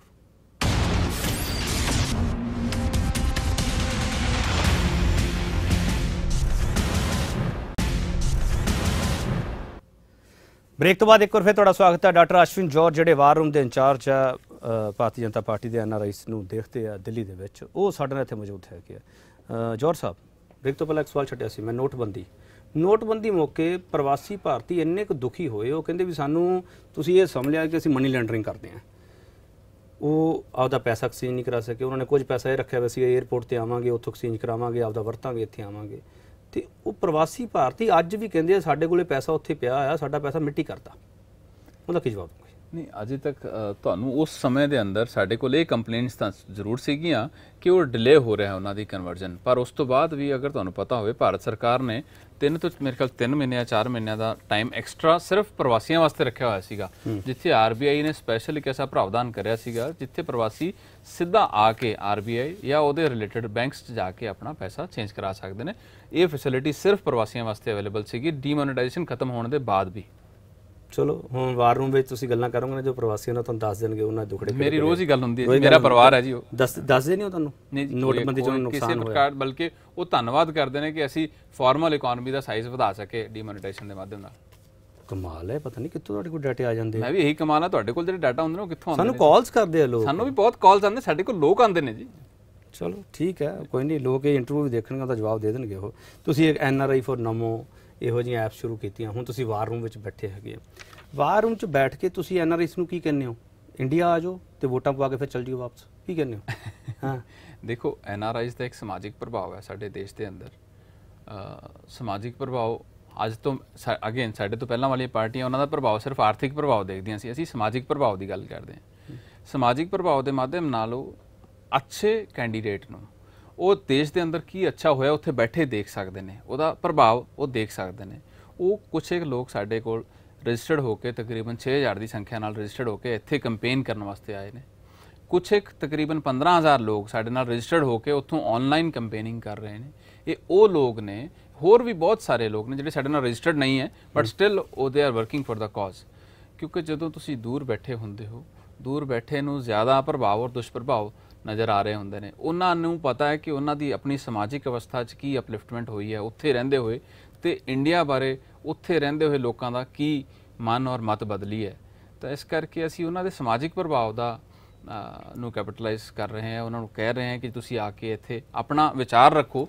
ਜਦੋਂ ਤੁਸੀਂ ਆਪਣਾ ਵਿਚਾਰ ਰੱਖੋਗੇ ਤਾਂ ਸਹੀ ਗਲਤ ਦਾ ਅਨੁਮਾਨ ਲੋਕ ਆਪਣੇ ਆਪ ਕਰ ਲੈਣਗੇ। ਯਾਨੀ ਕਿ ਉਹਨਾਂ ਦਾ ਸਮਾਜਿਕ ਪ੍ਰਭਾਵ ਇਸਤੇਮਾਲ ਕਰਕੇ ਤੁਸੀਂ ਸਿਆਸੀ ਕਦ ਆਪਣਾ ਉੱਚਾ ਕਰਨਾ ਚਾਹੁੰਦੇ ਹੋ ਐਨ ਆਰ ਐਸ ਦੇ ਨਾਲ? ਅਸੀਂ ਅਸੀਂ ਉਹਨਾਂ ਦੇ ਵਿਚਾਰ ਸਮਾਜ 'ਚ ਰੱਖ ਰਹੇ ਹਾਂ। ਜਦੋਂ ਆਪਣੇ ਵਿਚਾਰ ਰੱਖਣਗੇ ਸਮਾਜ 'ਚ ਤਾਂ ਸਮਾਜ ਆਪਣੇ ਆਪ ਹੀ ਇਸ ਚੀਜ਼ ਤੇ- ਇਸ ਚੀਜ਼ ਨੂੰ ਤੈਅ ਕਰ ਲੇਗਾ ਕਿ ਕੀ ਸਹੀ ਹੈ ਕੀ ਗਲਤ ਹੈ। ਤੇ ਅਸੀਂ ਇਸ ਚੀਜ਼ 'ਚ ਉਹਨਾਂ ਦੀ ਸਹਾਇਤਾ ਲਈ ਜ਼ਰੂਰ ਲੈ ਰਹੇ ਸਾਡੇ ਜਿਹੜੇ ਕਾਰਜਕਰਤਾ ਨੇ ਉਹ ਬੀਜੇਪੀ ਦੇ। ਸਾਡੇ ਇੰਚਾਰਜ ਨੇ ਸ਼੍ਰੀ ਵਿਜੇ ਚੌਥਾਈ ਵਾਲੇ ਜੀ ਉਹਨਾਂ ਦੇ ਮਾਰਗਦਰਸ਼ਨ ਥੱਲੇ ਅਸੀਂ ਜਿੰਨੇ ਵੀ ਪੂਰੇ ਵਿਸ਼ਵ ਦੇ ਅੰਦਰ ਸਾਡੇ ਕੋਲ ਤਕਰੀਬਨ 30 ਕੰਟਰੀਜ਼ ਦੇ ਅੰਦਰ ਸਾਡੀ ਟੀਮਸ ਨੇ ਕਾਰਜਕਰਤਾ ਨੇ ਸਾਡੇ ਨਾਲ ਜੁੜੇ ਹੋਏ ਨੇ ਸੁਭਾਵਿਕ ਰੂਪ 'ਚ ਜਿਹੜੇ ਸਾਡੇ ਆਈਡੀਓਲੋਜੀ ਨਾਲ ਜੁੜੇ ਹੋਏ ਨੇ ਸੁਭਾਵਿਕ ਰੂਪ 'ਚ ਉਹਨਾਂ ਨੂੰ ਸਕਾਰਾਤਮਕ ਦ੍ਰਿਸ਼ਟੀ ਨਾਲ ਦੇਖਣਾ ਪੈਂਦਾ ਉਹ ਵੀ ਦੇਖਦੇ ਨੇ। ਅਸੀਂ ਉਹਨਾਂ ਦੀ એનર્ਜੀ ਨੂੰ ਚੈਨਲਾਈਜ਼ ਕਰ ਰਹੇ ਹਾਂ ਇੱਥੇ। ਵਿਜੇ ਜੀ ਨੇ ਤੁਹਾਨੂੰ ਕੋਆਰਡੀਨੇਟਰ ਲਾਇਆ ਸੀ ਜੀ। ਸਵਾਲ ਇਹ ਹੈਗਾ ਕਿ ਵਿਦੇਸ਼ਾਂ ਦੇ ਵਿੱਚ ਬਹੁਤ ਟੂਰ ਕੀਤੇ ਆ ਪ੍ਰਧਾਨ ਮੰਤਰੀ ਸਾਹਿਬ ਨੇ। ਜੀ। ਤੁਸੀਂ ਉੱਥੇ ਬ੍ਰਾਂਡਿੰਗ ਜ਼ਿਆਦਾ ਕੀਤੀ ਹੈ। ਉਸ ਬ੍ਰਾਂਡ ਭਾਰਤ ਦੀ? ਨਹੀਂ ਮੋਦੀ ਸਾਹਿਬ ਦੀ। ਭਾਰਤ ਦੀ। ਭਾਰਤ ਦੀ ਬ੍ਰਾਂਡਿੰਗ ਕੀਤੀ। ਹੈ? ਭਾਰਤ। ਚਲੋ ਇਹ ਇਹ ਇੱਕ ਚੰਗਾ ਚੰਗਾ ਐਟੀਟਿਊਡ ਹੈਗਾ ਤੁਹਾਡਾ ਜੇ ਤੁਸੀਂ ਇਹ ਗੱਲ ਕਹਿ ਰਹੇ ਹੋ। ਇਸ ਬ੍ਰਾਂਡਿੰਗ ਦੇ ਨਾਲ ਸਵਾਲ ਇਹ ਹੈਗਾ ਕਿ ਉਹ ਬ੍ਰਾਂਡਿੰਗ ਕਰਕੇ ਤੁਸੀਂ ਮੀਡੀਆ ਪਬਲਿਸਿਟੀ ਤਾਂ ਹਾਸਲ ਕਰ ਲਈ ਹੈ ਪਰ ਇਹ ਐਨਆਰਆਈਜ਼ ਦੀਆਂ ਸਮੱਸਿਆਵਾਂ ਹੈਗੀਆਂ। ਉਹ ਉਵੇਂ ਦੀਆਂ ਉਵੇਂ ਹੀ ਅੱਜ ਵੀ ਉਵੇਂ ਹੀ ਆ ਕਿਹੜੀਆਂ ਸਮੱਸਿਆਵਾਂ ਦਾ ਤੁਸੀਂ ਕੇਪੀਜੀ ਨਿਵਾਰਣ ਕਰਾਉਣਾ ਚਾਹ ਰਹੇ ਹੋ ਜਿੱਥੇ ਮੈਂ ਇਹ ਜਾਣਨਾ ਚਾਹ ਰਿਹਾ ਕਿਉਂਕਿ ਸਾਡੀ ਮਿਨਿਸਟਰੀ ਆਫ ਐਕਸਟਰਨਲ ਅਫੇਅਰਸ ਸਾਡ ਸੁਸ਼ਮਾ ਜੀ ਜਿਹੜੇ ਐਕਸਟਰਨਲ ਅਫੇਅਰ ਮਿਨਿਸਟਰ ਨੇ ਸਾਡੇ ਪ੍ਰਧਾਨ ਮੰਤਰੀ ਜੀ ਪ੍ਰਧਾਨ ਮੰਤਰੀ ਕਾਰਜਾਲय ਹਰ ਵਿਅਕਤੀ ਦਾ ਇੱਕ ਅਲੱਗ ਇਹਨਾਂ ਪ੍ਰਵਾਸੀਆਂ ਵਾਸਤੇ ਇੱਕ ਸਾਡੀ ਇੱਕ ਅਲੱਗ ਟੀਮ ਕੰਮ ਕਰਦੀ ਹੈ। ਮੈਂ ਤੁਹਾਨੂੰ ਜਿਵੇਂ ਉਲੇਖ ਕੀਤਾ ਮਦਦ ਪੋਰਟਲ ਦਾ। ਜਿਹੜੀ ਵੀ ਸਾਡੇ ਸੰਗਿਆਨ ਚਾਹੁੰਦੀ ਹੈ ਕਿਸੇ ਵੀ ਐਨਆਰਆਈ ਦੇ ਸੰਬੰਧਿਤ ਕੋਈ ਕੋਈ ਦਿੱਕਤ ਹੈ ਕਿਸੇ ਵੀ ਸੰਬੰਧਿਤ ਉਹਦਾ ਪੂਰਾ ਪੂਰਾ ਨਜਿੱਠਣ ਦਾ ਪ੍ਰਯਾਸ ਕੀਤਾ ਜਾਂਦਾ ਪਿਛਲੇ 5 ਸਾਲਾਂ 'ਚ ਔਰ ਜਿਹੜਾ ਨਿਵਾਰਣ ਹੋਇਆ ਹੈ, ਜੇ ਤੁਸੀਂ ਪੋਜ਼ਿਟਿਵਿਟੀ ਨੂੰ ਦੇਖੋ ਤਾਂ ਤੁਹਾਨੂੰ ਐਨਆਰਆਈ ਇਸ ਚੀਜ਼ ਦਾ ਫੀਡਬੈਕ ਦੇ ਸਕਦੇ ਨੇ ਪੋਜ਼ਿਟਿਵਿਟੀ ਹੈ ਉਹਦੇ ਚ। ਉਹਦੇ ਪੋਜ਼ਿਟਿਵਿਟੀ ਇਹ ਹੈਗੀ ਹੈ ਕਿ ਇੱਕ ਤੁਸੀਂ ਪਾਸਪੋਰਟ ਰੱਦ ਕਰਨ ਦਾ ਜਿਹੜਾ ਫੈਸਲਾ ਕੀਤਾ ਕਿ ਜਿਹੜੇ ਉੱਥੇ ਗਰੂਮਸ ਹੈਗੇ ਉਹ ਜੀ। ਧੋਖੇ ਦਿੰਦੇ ਹੈਗੇ ਉਹ ਤੁਸੀਂ ਇੱਕ ਅੱਛਾ ਅੱਛਾ ਸਟੈਪ ਚੁੱਕਿਆ ਹੈਗਾ। ਤੁਸੀਂ ਮੈਰਿਜ ਰਜਿਸਟ੍ਰੇਸ਼ਨ ਦੀ ਗੱਲ ਕੀਤੀ ਹੈਗੀ ਹੈ ਉਹ ਇੱਕ ਅੱਛਾ ਸਟੈਪ ਹੈਗਾ। ਪਰ ਅਜੇ ਵੀ ਐਨਆਰਆਈ ਸੰਤੁਸ਼ਟ ਨਹੀਂ ਹੈਗਾਗਾ। ਉਹ ਕਹਿੰਦੇ ਵੀ ਸਾਡੇ ਇੱਥੋਂ ਜਿਹੜੀਆਂ ਕੁੜੀਆਂ ਦੇ ਨਾਲ ਧੋਖੇ ਕੀਤੇ ਜਾ ਰਹੇ ਉੱਥੇ ਜਾ ਕੇ। ਉਹ- ਉਹਦੇ ਵਾਸਤੇ ਉਹਦੇ ਵਾਸਤੇ ਸਰਕਾਰ ਸਾਰੇ ਨੇ ਵਿਸ਼ੇ ਐਸੇ ਨੇ ਕੇਪੀਜੀ ਜਿਹਦੇ ਵਾਸਤੇ ਸਮੇਂ ਔਰ ਨਜਿੱਠਣ ਵਾਸਤੇ ਤੁਹਾਨੂੰ ਪਾਲਿਸੀਜ਼ ਰੂਲਸ ਰੈਗੂਲੇਸ਼ਨਸ ਦੇ ਥਰੂ ਨਿਕਲਣਾ ਪੈਂਦਾ ਅਸੀਂ ਕਿਥੇ ਕਿਸੇ ਵੀ ਸੀਟ ਤੇ ਬੈਠ ਕੇ ਅੱਜ ਕਿਸੇ ਵੀ ਵੱਡੀ ਮੁਸੀਬਤ ਨੂੰ ਨਜਿ- ਨਜਿੱਠਣ ਵਾਸਤੇ ਸਿਰਫ ਸਾਈਨ ਨਹੀਂ ਕਰ ਸਕਦੇ। ਉਹਨੂੰ ਨਜਿੱਠਣ ਵਾਸਤੇ ਸਾਨੂੰ ਪਾਲਿਸੀਜ਼ ਦਾ ਗਠਨ ਕਰਨਾ ਪੈਂਦਾ ਹੈ ਫਰੇਮਵਰਕ ਬਣਾਉਣਾ ਪੈਂਦਾ ਇਹ ਹੈ। ਤੁਹਾਡੇ ਏਜੰਡੇ ਵਿੱਚ ਹੈ ਤੁਹਾਡੇ ਕੋਲੇ ਹੈ, ਰੂਮ ਵਿੱਚ ਸ਼ਿਕਾਇਤਾਂ ਵੀ ਹੁੰਦੀਆਂ ਬਿਲਕੁਲ ਹੈ ਜੀ ਬਿਲਕੁਲ ਬਿਲਕੁਲ ਚੀਜ਼ਾਂ ਬਹੁਤ ਸਾਰੀਆਂ ਹੋਰ ਚੀਜ਼ਾਂ ਨੇ ਜਿਹੜੀਆਂ ਅਸੀਂ ਇਸੇ ਕਰਕੇ ਅਸੀਂ ਕੰਸਿਸਟੈਂਸੀ ਦੀ ਗੱਲ ਕਰਦੇ ਹਾਂ ਇਸੇ ਕਰਕੇ ਅਸੀਂ ਦੁਬਾਰਾ ਸਾਡੀ ਸਰਕਾਰ ਨੂੰ ਚੁਣਨ ਦੀ ਗੱਲ ਕਰਦੇ ਹਾਂ ਨੀਰਵ ਮੋਦੀ ਦੀ ਕਾਲ ਨਹੀਂ ਕਦੇ? ਨਹੀਂ ਸਾਡੇ ਨਾਲ ਨੀਰਵ ਮੇਤੀ ਦਾ ਕੀ ਅਸੀਂ ਤਾਂ ਉਹਨੂੰ ਮੈਂ ਦੱਸ ਰਿਹਾ ਮੈਂ ਉਸੇ ਚੀਜ਼ ਦਾ ਤੁਹਾਨੂੰ ਜਵਾਬ ਦੇਣਾ ਚਾਹ ਰਿਹਾ ਕਿ ਸ਼ਾਇਦ ਉਹ ਕਾਲ ਨਾ ਕਰ ਸਕਣ ਕਿਉਂਕਿ ਉਹ ਜੇਲ੍ਹ 'ਚ ਹੈ। ਵਿਜੇ ਮਾਲਿਆ। ਤੇ ਉਹ ਵੀ ਸ਼ਾਇਦ ਕਾਲ ਇਸ ਕਰਕੇ ਨਾ ਕਰ ਸਕੇ ਕਿਉਂਕਿ ਉਹ ਉਹਨੇ ਆ ਹੀ ਜਾਣਾ ਹੈ ਥੋੜੇ ਦਿਨਾਂ 'ਚ ਉਹਦੀ ਪ੍ਰਤਿਰਪਣ ਹੋ ਹੀ ਜਾਣੀ ਹੈ ਹਾਈ ਕੋਰਟ ਨੇ ਉਹਨੇ ਰਿਜੈਕਟ ਕਰਤਾ। ਤੇ ਕਾਲ ਕਰਨ ਦੀ ਬਜਾਏ ਸ਼ਾਇਦ ਆਪ ਹੀ ਆ ਕੇ ਗੱਲ ਕਰੇ। ਇਹ ਵਾਰ ਰੂਮ ਜਿਹੜਾ ਤੁਸੀਂ ਬਣਾਇਆ ਹੈ ਵਾਰ ਰੂਮ ਜਿਹੜਾ ਬਲੈਕ ਮਨੀ ਹੈਗੀ ਹੈ ਉਹਦੇ ਵਾਸਤੇ ਵੀ ਹੈ ਜਾਂ ਸਿਰਫ ਇਹ ਵੋਟ ਵਾਸਤੇ ਹੀ ਹੈ? ਨਹੀਂ ਇਹ ਵਾਰ ਰੂਮ ਦਾ ਸ਼ਬਦ ਜਿਹੜਾ ਹੈ ਥੋੜਾ ਜਿਹਾ ਗਲਤ ਪਾਸੇ ਚਲਾ ਗਿਆ। ਸਾਡਾ ਵਾਰ ਰੂਮ ਹੈ ਬਹੁਤ ਸਾਰੇ ਪ੍ਰਵਾਸੀ ਮਾਨਯ ਨਰਿੰਦਰ ਮੋਦੀ ਜੀ ਵਾਸਤੇ ਇੱਥੇ ਕੈਂਪੇਨ ਕਰਨ ਵਾਸਤੇ ਆਣਾ ਚਾਹੁੰਦੇ ਨੇ। ਉਹ ਕਿਹੜੀ ਕੰਸਟੀਚੁਐਂਸੀ ਤੋਂ ਬਿਲੋਂਗ ਕਰਦੇ ਨੇ? ਉਹਨਾਂ ਨੂੰ ਅਸੀਂ ਕਿਵੇਂ ਚੈਨਲਾਈਜ਼ ਕਰਨਾ ਹੈ? ਸਾਡੇ ਕੈਂਡੀਡੇਟਸ ਨਾਲ ਕਿਵੇਂ ਕੈਂਪੇਨ ਮੈਨੇਜਰ ਨਾਲ ਕਿਵੇਂ ਜਾ ਕੇ ਉਹ ਕੰਮ ਕਰ ਸਕਦੇ ਨੇ? ਜਾਂ ਉਹ ਜਿਹੜੇ ਕਾਲਸ ਉਹਨਾਂ ਦੀਆਂ ਆ ਰਹੀਆਂ ਨੇ ਸੋਸ਼ਲ ਮੀਡੀਆ ਤੋਂ ਜਿਹੜੀਆਂ ਉਹ ਕੈਂਪੇਨ ਕਰ ਰਹੇ ਨੇ, ਸਾਡੇ ਇਸ ਛੋਟੇ ਜਿਹੇ ਆਫਿਸ ਦਾ ਇੰਨਾ ਕੀ ਕੰਮ ਹੈ ਕਿ ਉਹਨਾਂ ਦੀ એનર્ਜੀ ਨੂੰ ਸਕਾਰਾਤਮਕ ਰੂਪ ਚ ਚੈਨਲਾਈਜ਼ ਕੀਤਾ ਜਾ ਸਕੇ। ਵਾਰ ਰੂਮ ਦੇ ਅੰਦਰ ਸਾਡਾ ਵਿਜੇ ਮਾਲਾ ਜਾਂ ਨੀਰਵ ਮੋਦੀ ਨਾਲ ਕੋਈ ਲੈਣਾ ਦੇਣਾ ਨਹੀਂ ਹੈ ਜੀ। ਤੁਹਾਡਾ ਫੋਕਸ ਜ਼ਿਆਦਾ ਕਰਤੇ ਹੈ? ਪੰਜਾਬ ਗੁਜਰਾਤ ਕੇਰਲਾ ਹਰਿਆਣਾ ਕਾ ਕਿ- ਕਿਸ ਐਨਆਰਆਈ ਤੇ ਜ਼ਿਆਦਾ ਫੋਕਸ ਹੈ ਤੁਹਾਡਾ? ਪੈਨ ਇੰਡੀਆ ਬਹੁਤ ਸਾਰੇ ਤੁਸੀਂ ਕੇਰਲਾ ਤੋਂ ਸ਼ੁਰੂ ਹੋ ਕੇ ਤਮਿਲਨਾਡੂ ਤੋਂ ਸ਼ੁਰੂ ਹੋ ਕੇ ਈਵਨ ਜੰਮੂ ਤੱਕ ਐਨ ਆਰ ਆਈਜ਼ ਸਾਡੇ ਨਾਲ ਜੁੜੇ ਹੋਏ ਨੇ ਜਿਹੜੇ ਭਾਰਤੀ ਜਨਤਾ ਪਾਰਟੀ ਔਰ ਮਾਨਯ ਨਰਿੰਦਰ ਮੋਦੀ ਜੀ ਨੂੰ ਦੁਬਾਰਾ ਪ੍ਰਾਈਮ ਮਿਨਿਸਟਰ ਦੇਖਣਾ ਚਾਹੁੰਦੇ ਨੇ। ਪੰਜਾਬ ਦੇ ਵਿੱਚ ਸਭ ਤੋਂ ਜ਼ਿਆਦਾ ਜੇ ਪਰਸੈਂਟੇਜ ਮੈਂ ਪੋਪੂਲੇਸ਼ਨ ਵਾਈਜ਼ ਪਰਸੈਂਟੇਜ ਦੀ ਗੱਲ ਕਰਾਂ ਸਭ ਤੋਂ ਜ਼ਿਆਦਾ ਐਨਆਰਆਈਸ ਪੰਜਾਬ ਤੋਂ ਹੈਗੇ ਆ। ਉਸ ਤੋਂ ਬਾਅਦ ਜੇ ਵੱਧ ਸਟਰੈਂਥ ਦੇਖੀ ਜਾਵੇ ਤਾਂ ਕੇਰਲਾ ਦੀ ਹੈਗੀ ਹੈ ਗੁਜਰਾਤ ਤੇਲਗੂ ਹੋ ਗਏ। ਤੇਲ ਤੇਲਗੂ ਹੋ ਗਏ ਬਹੁਤ ਜੋ ਬਹੁਤ ਜ਼ਿਆਦਾ ਸਟਰੈਂਥ ਹੈਗੀ ਹੈ ਕਿ ਇਹਨਾਂ ਤੇ ਕੋਈ ਸਪੈਸ਼ਲ ਫੋਕਸ ਰਹਿੰਦਾ ਸਰਕਾਰਾਂ ਦਾ? ਇਸ ਤੋਂ ਪਹਿਲਾਂ ਕਦੇ ਰਿਹਾ? ਜੇ ਨਹੀਂ ਰਿਹਾ ਤਾਂ ਫਿਰ ਉਹਦੇ ਵਿੱਚ ਕਮੀ ਕੀ ਰਹੀ ਹੈ? ਨਹੀਂ ਸਪੈਸ਼ਲ ਫੋਕਸ ਜਿੱਥੇ ਸੰਖਿਆ ਜ਼ਿਆਦਾ ਹੁੰਦੀ ਹੈ ਸਪੈਸ਼ਲੀ ਉੱਥੇ ਫੋਕਸ ਰਹਿੰਦਾ ਹੀ ਹੈ ਜੀ। ਬਟ ਇਸ ਇੰਨਾ ਵੀ ਜ਼ਿਆਦਾ ਫੋਕਸ ਕਨਸੈਂਟਰੇਟਡ ਨਹੀਂ ਹੋਣਾ ਚਾਹੀਦਾ, ਜਿੱਦਾਂ ਮੈਂ ਤੁਹਾਨੂੰ ਇਹਦੇ ਚ ਇੱਕ ਪਰਸਨ ਦੀ ਐਗਜ਼ਾਮਪਲ ਦੇਣਾ ਚਾਹਨਾ ਅਸੀਂ ਕੈਲਕਟਾ ਦੇ ਅੰਦਰ ਇੱਕ ਵਰਚੁਅਲ ਚਾय ਪੇ ਚਰਚਾ ਕੀਤੀ, ਜਿਹਦੇ ਵਿੱਚ ਪੂਰੀ ਦੁਨੀਆ ਤੋਂ 9 ਅਲੱਗ-ਅਲੱਗ ਲੋਕੇਸ਼ਨਸ ਤੇ ਲੋਕ ਕੈਲਕਟਾ ਦੇ ਨਾਲ ਜੁੜੇ, ਜਿੱਥੇ 250 ਤੋਂ 300 ਲੋਕਾਂ ਨੂੰ ਉਹਨਾਂ ਨੇ ਸੰਬੋਧਿਤ ਕੀਤਾ। ਵਿੱਚ ਪ੍ਰੈਸ ਵਾਲੇ ਪ੍ਰੈਸ ਕਾਨਫਰੰਸ ਨੂੰ ਵੀ ਉਹਨਾਂ ਨੇ ਸੰਬੋਧਿਤ ਕੀਤਾ। ਜਿਹਦੇ ਵਿੱਚ Sydney Hong Kong London Istanbul New York San Francisco and Singapore. ਇੱਥੋਂ ਲੋਕ ਇੱਕੋ ਹੀ ਸਮੇਂ ਤੇ ਸਕਾਈਪ ਤੇ ਜੁੜ ਕੇ ਉਹਨਾਂ ਨੇ 300 400 ਲੋਕਾਂ ਨੂੰ ਸੰਬੋਧਿਤ ਕਰਿਆ ਤੇ ਆਪਣੀਆਂ ਪ੍ਰਤੀਕਿਰਿਆ ਆਪਣੀ ਸਕਾਰਾਤਮਕ ਦ੍ਰਿਸ਼ਟੀ ਦੀ ਜਿਹੜੀ ਉਹਨਾਂ ਦੀ ਸੋਚ ਹੈ ਸਰਕਾਰ ਦੇ ਪ੍ਰਤੀ ਉਹਨੂੰ ਵਿਅਕਤ ਕਰਿਆ ਤੇ ਉਸ ਤੋਂ ਪਹਿਲਾਂ ਦੇਖੋ ਬੰਗਾਲ ਦੇ ਡਾਇਸਪੋਰਾ ਨੂੰ ਕੋਈ ਆਇਡੈਂਟੀਫਾਈ ਨਹੀਂ ਕਰ ਰਿਹਾ ਸੀ। ਜਿਵੇਂ ਹਰਿਆਣਾ ਦੇ ਡਾਇਸਪੋਰਾ ਨੂੰ ਸਾਡੀ ਸਰਕਾਰ ਤੋਂ ਪਹਿਲਾਂ ਆਇਡੈਂਟੀਫਾਈ ਪਿਛਲੀ ਸਰਕਾਰਾਂ ਨੇ ਨਹੀਂ ਕੀਤਾ। ਤਾਂ ਸਾਡਾ ਫੋਕਸ ਪੈਨ ਇੰਡੀਆ ਜੀ ਸਿਰਫ ਉਹਨਾਂ ਕਮਿਊਨਿਟੀਜ਼ ਤੇ ਨਹੀਂ ਕਿ ਜਿਨ੍ਹਾਂ ਦੀ ਸੰਖਿਆ ਉੱਥੇ ਜ਼ਿਆਦਾ ਹੈ ਪਰ ਜਿਨ੍ਹਾਂ ਦੀ ਸੰਖਿਆ ਥੋੜਾ ਸਕੈਟਰਡ ਹੈ ਉਹਨਾਂ ਨੂੰ ਵੀ ਇਕੱਠਾ ਲਿਆ ਕੇ ਸਾਰਿਆਂ ਨਾਲ ਜੋੜਨ ਦੀ ਵੀ ਹੈ। ਤੁਸੀਂ ਇੱਕ ਥੋੜਾ ਜਿਹਾ ਆਪਦੇ ਬਾਰੇ ਥੋੜਾ ਜਿਹਾ ਘੱਟ ਜ਼ਿਕਰ ਕਰਦੇ ਮੈਂ ਪਤਾ ਨਹੀਂ ਕਿਉਂ। ਤੁਸੀਂ ਦਵੋਸ ਗਏ ਸੀਗੇ। ਉੱਥੇ ਵੀ ਬੜਾ ਕੁਝ ਬੋਲ ਕੇ ਆਏ ਤੁਸੀਂ ਤੇ ਉਹਦਾ ਥੋੜਾ ਜਿਹਾ ਸਾਨੂੰ ਵੀ ਪਤਾ ਲੱਗਿਆ ਸੀ ਕੀ ਹੈ ਕਿਸ ਕੀ ਬੋਲੇ ਤੁਸੀਂ ਉੱਥੇ? ਜੀ ਡਾਵੋਸ ਮੈਂ ਬੜਾ ਖੁਸ਼ਨਸੀਬ ਰਿਹਾ ਕਿ ਮੈਨੂੰ ਜਾਣ ਦਾ ਮੌਕਾ ਮਿਲਿਆ ਔਰ ਹਰਿਆਣਾ ਨੂੰ ਰਿਪਰੈਜ਼ੈਂਟ ਕਰਨ ਦਾ ਮੌਕਾ ਮਿਲਿਆ। ਉਹਦੇ ਚ ਜਿਹੜਾ ਜਿਸ ਵਿਸ਼ੇ ਦੀ ਤੁਸੀਂ ਵਿਸ਼ੇ ਦਾ ਉਲੇਖ ਕਰ ਰਹੇ ਹੋ ਉਹਦੇ ਚ ਹਰਿਆਣਾ ਦੇ ਸੰਬੰਧਿਤ ਮੇਰਾ ਜਿਹੜਾ ਵਕਤਵਯ ਸੀਗਾ ਉਹ ਇਹ ਸੀਗਾ ਕਿ ਹਰਿਆਣਾ ਇੱਕ ਬlesed ਲੈਂਡ ਹੈ। ਹੂੰ। ਕਿਉਂਕਿ ਹਰਿਆਣਾ ਇੰਡਸਟਰੀਅਲ ਲੀਡਰ ਹੈ ਇੰਡਸਟਰੀਅਲਾਈਜ਼ਡ ਸਟੇਟ ਹੈ। ਤੁਸੀਂ ਕਦੇ ਵੀ ਦੇਖੋ ਜਿੱਥੇ ਇੰਡਸਟਰੀਅਲਾਈਜ਼ਡ ਸਟੇਟ ਹੋਏਗੀ ਉੱਥੇ ਐਗਰੋ ਇਕਨੋਮੀ ਨਹੀਂ ਹੋਏਗੀ। ਹਰਿਆਣਾ ਇੰਡਸਟਰੀਅਲਾਈਜ਼ਡ ਵੀ ਹੈ ਐਗਰੋ ਇਕਨੋਮੀ ਵੀ ਹੈ। ਜਿੱਥੇ ਇੰਡਸਟਰੀਅਲਾਈਜ਼ਡ ਹੋਏਗਾ ਐਗਰੋ ਇਕਨੋਮੀ ਹੋਏਗੀ ਉੱਥੇ ਤੁਹਾਨੂੰ ਸਪਿਰਚੁਅਲਿਟੀ ਨਹੀਂ ਮਿਲੇਗੀ। ਤੁਹਾਨੂੰ ਇੱਥੇ ਇੰਡਸਟਰੀਅਲਾਈਜ਼ਡ ਐਗਰੋ ਇਕਨੋਮੀ ਔਰ ਕੁਰਕਸ਼ੇਤਰ ਮਿਲੇਗਾ। ਤੁਹਾਨੂੰ ਜਿੱਥੇ ਸਪਿਰਚੁਅਲਿਟੀ ਇੰਡਸਟਰੀਅਲਾਈਜੇਸ਼ਨ ਔਰ ਐਗਰੋ ਇਕਨੋਮੀ ਤੁਹਾਨੂੰ ਉੱਥੇ 올ਡੈਸਟ ਸਿਵਲਾਈਜੇਸ਼ਨ ਰਾਖੀ ਗੜੀ ਵੀ ਮਿਲੇਗੀ। ਤਾਂ ਇਹ ਜਿਹੜਾ ਭੂਖੰਡ ਹੈ ਇਹ ਜਿਹੜਾ ਪੀਸ ਆਫ ਲੈਂਡ ਹੈ it's a blessed land so this is what I spoke in Davos and it is a land of opportunity ਔਰ ਤੁਸੀਂ ਬੜੀਆਂ ਚੀਜ਼ਾਂ ਜੋੜਤੀਆਂ ਹਰਿਆਣੇ ਬਾਰੇ ਅਸੀਂ ਤਾਂ ਸਾਰੇ ਇਹੀ ਸੁਣਦੇ ਆ ਕਿ ਨੈਸ਼ਨਲ ਕੈਪੀਟਲ ਦੇ ਨਾਲ ਹੈਗਾ ਹਰਿਆਣਾ ਇਸ ਕਰਕੇ ਫਾਇਦਾ ਹੋ ਰਿਹਾ ਹਰਿਆਣਾ ਨੂੰ ਬਸ। ਨਹੀਂ ਹਰਿਆਣਾ ਦੀ ਬਹੁਤ ਸਾਰੀਆਂ ਵਿਸ਼ੇਸ਼ਤਾਵਾਂ ਨੇ। ਔਰ ਮੈਂ ਤੁਹਾਨੂੰ ਦੱਸਿਆ ਕਿ industrialisation agro economy spirituality oldest civilisation ਇਹ ਚਾਰ ਚੀਜ਼ਾਂ ਤੁਸੀਂ ਕਿਤੇ ਵੀ ਚਾਰ ਚੀਜ਼ਾਂ ਦਾ ਮਿਸ਼ਰਣ ਕਿਸੇ ਵੀ ਪੂਰੇ ਸੰਸਾਰ 'ਚ ਤੁਹਾਨੂੰ ਇੱਕ ਜਗ੍ਹਾ ਤੇ ਨਹੀਂ ਮਿਲੇਗਾ। ਜਦੋਂ ਤੁਸੀਂ ਇਹ ਦੱਸਦੇ ਹੋ ਐਨਆਰਆਈ ਕਹਿੰਦਾ ਮੈਂ ਹਰਿਆਣਾ 'ਚ ਪੈਸਾ ਲਾਉਣਾ। ਕਿਉਂਕਿ ਖੱਟਰ ਸਾਹਿਬ ਹੁਣ ਵੀ ਬ੍ਰਿਟਿਸ਼ ਦੌਰੇ ਤੇ ਹੋਰ ਕਈ ਦੌਰੇ ਤੇ ਜਾ ਕੇ ਇਸ ਚੀਜ਼ ਦਾ ਜਵਾਬ ਦੇਣ ਤੋਂ ਪਹਿਲਾਂ ਮੈਂ ਤੁਹਾਨੂੰ ਇੱਕ ਚੀਜ਼ ਦਾ ਜਵਾਬ ਦੇਣਾ ਚਾਹਨਾ ਕਿ 3 ਮਹੀਨੇ ਪਹਿਲਾਂ ਦੀ ਇਕਨੋਮਿਕਸ ਟਾਈਮ ਦੀ ਰਿਪੋਰਟ ਹੈ ਜੀ ਕਿ ਐਨਸੀਆਰ ਮਹਾਰਾਸ਼ਟਰ ਨੂੰ ਕ੍ਰਾਸ ਕਰ ਚੁੱਕਿਆ ਫੋਰਨ ਡਾਇਰੈਕਟ ਇਨਵੈਸਟਮੈਂਟ ਚ ਔਰ ਐਨਸੀਆਰ ਦੇ ਅੰਦਰ ਹਰਿਆਣਾ ਟੌਪ ਤੇ ਹੈ। I just want to confirm with data this data with you ਤੇ ਇਨਵੈਸਟਮੈਂਟਸ ਤਾਂ ਤੁਹਾਨੂੰ ਆਮੰਤਰਿਤ ਨਹੀਂ ਕਰਨੀਆਂ ਪੈ ਰਹੀਆਂ ਇਨਵੈਸਟਮੈਂਟਸ ਤਾਂ ਆ ਰਹੀਆਂ ਨੇ ਜੀ। ਅਸੀਂ ਤਾਂ ਉਹਨਾਂ ਨੂੰ ਫੈਸਿਲਿਟੇਟ ਕੀਤਾ ਔਰ ਫੈਸਿਲਿਟੇਟ ਕਰ ਰਹੇ ਹਾਂ। ਜਾਂ ਮੇਰੇ ਤੋਂ ਬਾਅਦ ਜਿਹੜੇ ਨੇ ਉਹ ਫੈਸਿਲਿਟੇਟ ਕਰ ਰਹੇ ਨੇ। ਅੱਗੋਂ ਵੀ ਚੈਨਲਸ ਹੁੰਦੀਆਂ ਰਹਿਣਗੀਆਂ ਇਹ? ਬਿਲਕੁਲ ਹੁੰਦੇ ਰਹਿਣਗੇ ਜੀ। ਬਿਲਕੁਲ ਹੁੰਦੀਆਂ ਰਹਿਣਗੀਆਂ। ਕਿਉਂਕਿ ਅਕਸਰ ਇਹ ਹੁੰਦਾ ਕਿ ਅਸੀਂ ਐਫਡੀਏ ਦੀ ਗੱਲ ਕਰਦੇ ਹਾਂ ਪਰ ਐਫਡੀਏ ਦੇ ਵਿੱਚ ਅਸੀਂ ਹਮੇਸ਼ਾ ਕਹਿੰਦੇ ਸੀ ਪਿੱਛੇ ਰਹਿ ਗਏ ਪਿੱਛੇ ਰਹਿ ਗਏ ਪਿੱਛੇ ਰਹਿ ਗਏ। ਇਹ ਰੋਣਾ ਮੁੱਕ ਜੂਗਾ ਕਿ ਨਹੀਂ? ਨਹੀਂ ਐਫਡੀਆਈ ਚ ਕਿਤੇ ਵੀ ਪਿੱਛੇ ਨਹੀਂ ਰਹੀ ਜੀ। ਅੱਜ ਦੀ ਡੇਟ 'ਚ ਅਸੀਂ ਟਾਪ ਡੈਸਟੀਨੇਸ਼ਨ ਹੈ ਸੰਸਾਰ ਦੀ ਐਫਡੀਆਈ ਦੇ ਸੰਬੰਧਿਤ। ਸਾਡਾ ਈਜ਼ ਆਫ ਡੂਇੰਗ ਬਿਜ਼ਨਸ ਦਾ ਲੈਵਲ ਦੇਖੋ ਜੀ। ਅੱਜ ਦੀ ਡੇਟ 'ਚ ਚਾਈਨਾ ਤੋਂ ਪਹਿਲਾਂ ਸਾਨੂੰ ਕੰਸੀਡਰ ਕੀਤਾ ਜਾਂਦਾ ਜੀ ਕਿਸੇ ਵੀ ਨਵੀਂ ਇੰਡਸਟਰੀ ਲਗਾਉਣ ਵਾਸਤੇ। ਸਾਰੀ ਦੁਨੀਆ ਸਾਡੇ ਤੇ ਐਜ਼ ਅ ਫੈਕਟਰੀ ਕੰਟਰੀ ਦੇਖ ਰਹੀ ਹੈ। ਚਾਈਨਾ ਤੋਂ ਪਹਿਲਾਂ ਸਾਨੂੰ ਕੰਸੀਡਰ ਕੀਤਾ ਜਾ ਰਿਹਾ ਕਿਉਂਕਿ ਚਾਈਨਾ ਤੇ ਕੁਝ ਕੰਸਟ੍ਰੇਨ ਹੋ ਚੁੱਕੇ ਨੇ with the time we are the top destination ਜੀ ਨਹੀਂ ਸਵਾਲ ਇਸ ਕਰਕੇ ਸੀ ਜੋਰ ਸਾਹਿਬ ਜਦੋਂ ਇੰਡੀਆ 'ਚ ਸਵਾਲ ਇਹ ਉੱਠਦਾ ਕਿ ਇੱਥੇ ਧਰਮ ਦੇ ਨਾਂ ਤੇ ਸਿਆਸਤ ਕੀਤੀ ਜਾਂਦੀ ਹੈ ਧਰਮ ਦੇ ਨਾਂ ਤੇ ਦੰਗੇ ਹੋ ਰਹੇ ਹੈਗੇ ਆ ਧਰਮ ਦੇ ਨਾਂ ਤੇ ਪਾੜੇ ਪਾਏ ਜਾ ਰਹੇ ਹੈਗੇ ਆ ਤੁਹਾਡੇ ਵਿਰੋਧੀ ਵੀ ਗੱਲ ਕਹਿੰਦੇ ਤੇ ਸਭ ਕੁਝ ਪਿਆ ਵੀ ਹੋਇਆ ਡੋਮੇਨ ਵਿੱਚ ਪਿਆ। ਹੈ ਉਦੋਂ ਸਾਡੇ ਇੰਡੀਆ ਨੂੰ ਫ਼ਰਕ ਪੈਂਦਾ? ਦੇਖੋ ਇਹ ਸਿਆਸਤ ਜਿਹੜੀ ਇੱਥੇ ਖੇਲੀ ਜਾਂਦੀ ਸਾਡੇ ਵਿਰੋਧੀਆਂ ਰਾਹੀਂ ਉਹ ਇੱਥੇ ਤੱਕ ਹੀ ਸੀਮਿਤ ਹੈ। ਜਿਹੜੇ ਬਾਹਰ ਬੈਠੇ ਨੇ ਲੋਕ ਜਿਹੜੇ ਮੁਲਕਾਂ ਨੇ ਜਿਹੜੇ ਇਨਵੈਸਟਰਸ ਨੇ ਪੈਸਾ ਲਗਾਉਣਾ ਜਿਹੜੇ ਸਾਨੂੰ ਦੂਰ ਦ੍ਰਿਸ਼ਟੀ ਨਾਲ ਦੇਖ ਰਹੇ ਨੇ। ਉਹਨਾਂ ਨੂੰ ਸੱਚਾਈ ਦਾ ਪਤਾ ਹੈ ਕਿ ਇਹ ਡਰਾਮੇਬਾਜ਼ੀ ਥੋੜੇ ਸਮੇਂ ਦੀ ਹੈ ਇਲੈਕਸ਼ਨਾਂ ਤੱਕ ਉਸ ਤੋਂ ਬਾਅਦ ਇਹ ਡਰਾਮੇਬਾਜ਼ੀ ਨਹੀਂ ਰਹਿਣੀ। ਧਰਮ ਦੇ ਉਹਨਾਂ ਕੋਲ ਇੱਕੋ ਹੀ ਮੁੱਦਾ ਰਿਹਾ ਜੀ ਧਰਮ ਤੇ ਕਿਵੇਂ ਵੰਡਿਆ ਜਾਵੇ। ਉਹ ਕਰਦੇ ਆਏ ਨੇ 55 ਸਾਲ ਤੋਂ 60 ਸਾਲ ਤੋਂ।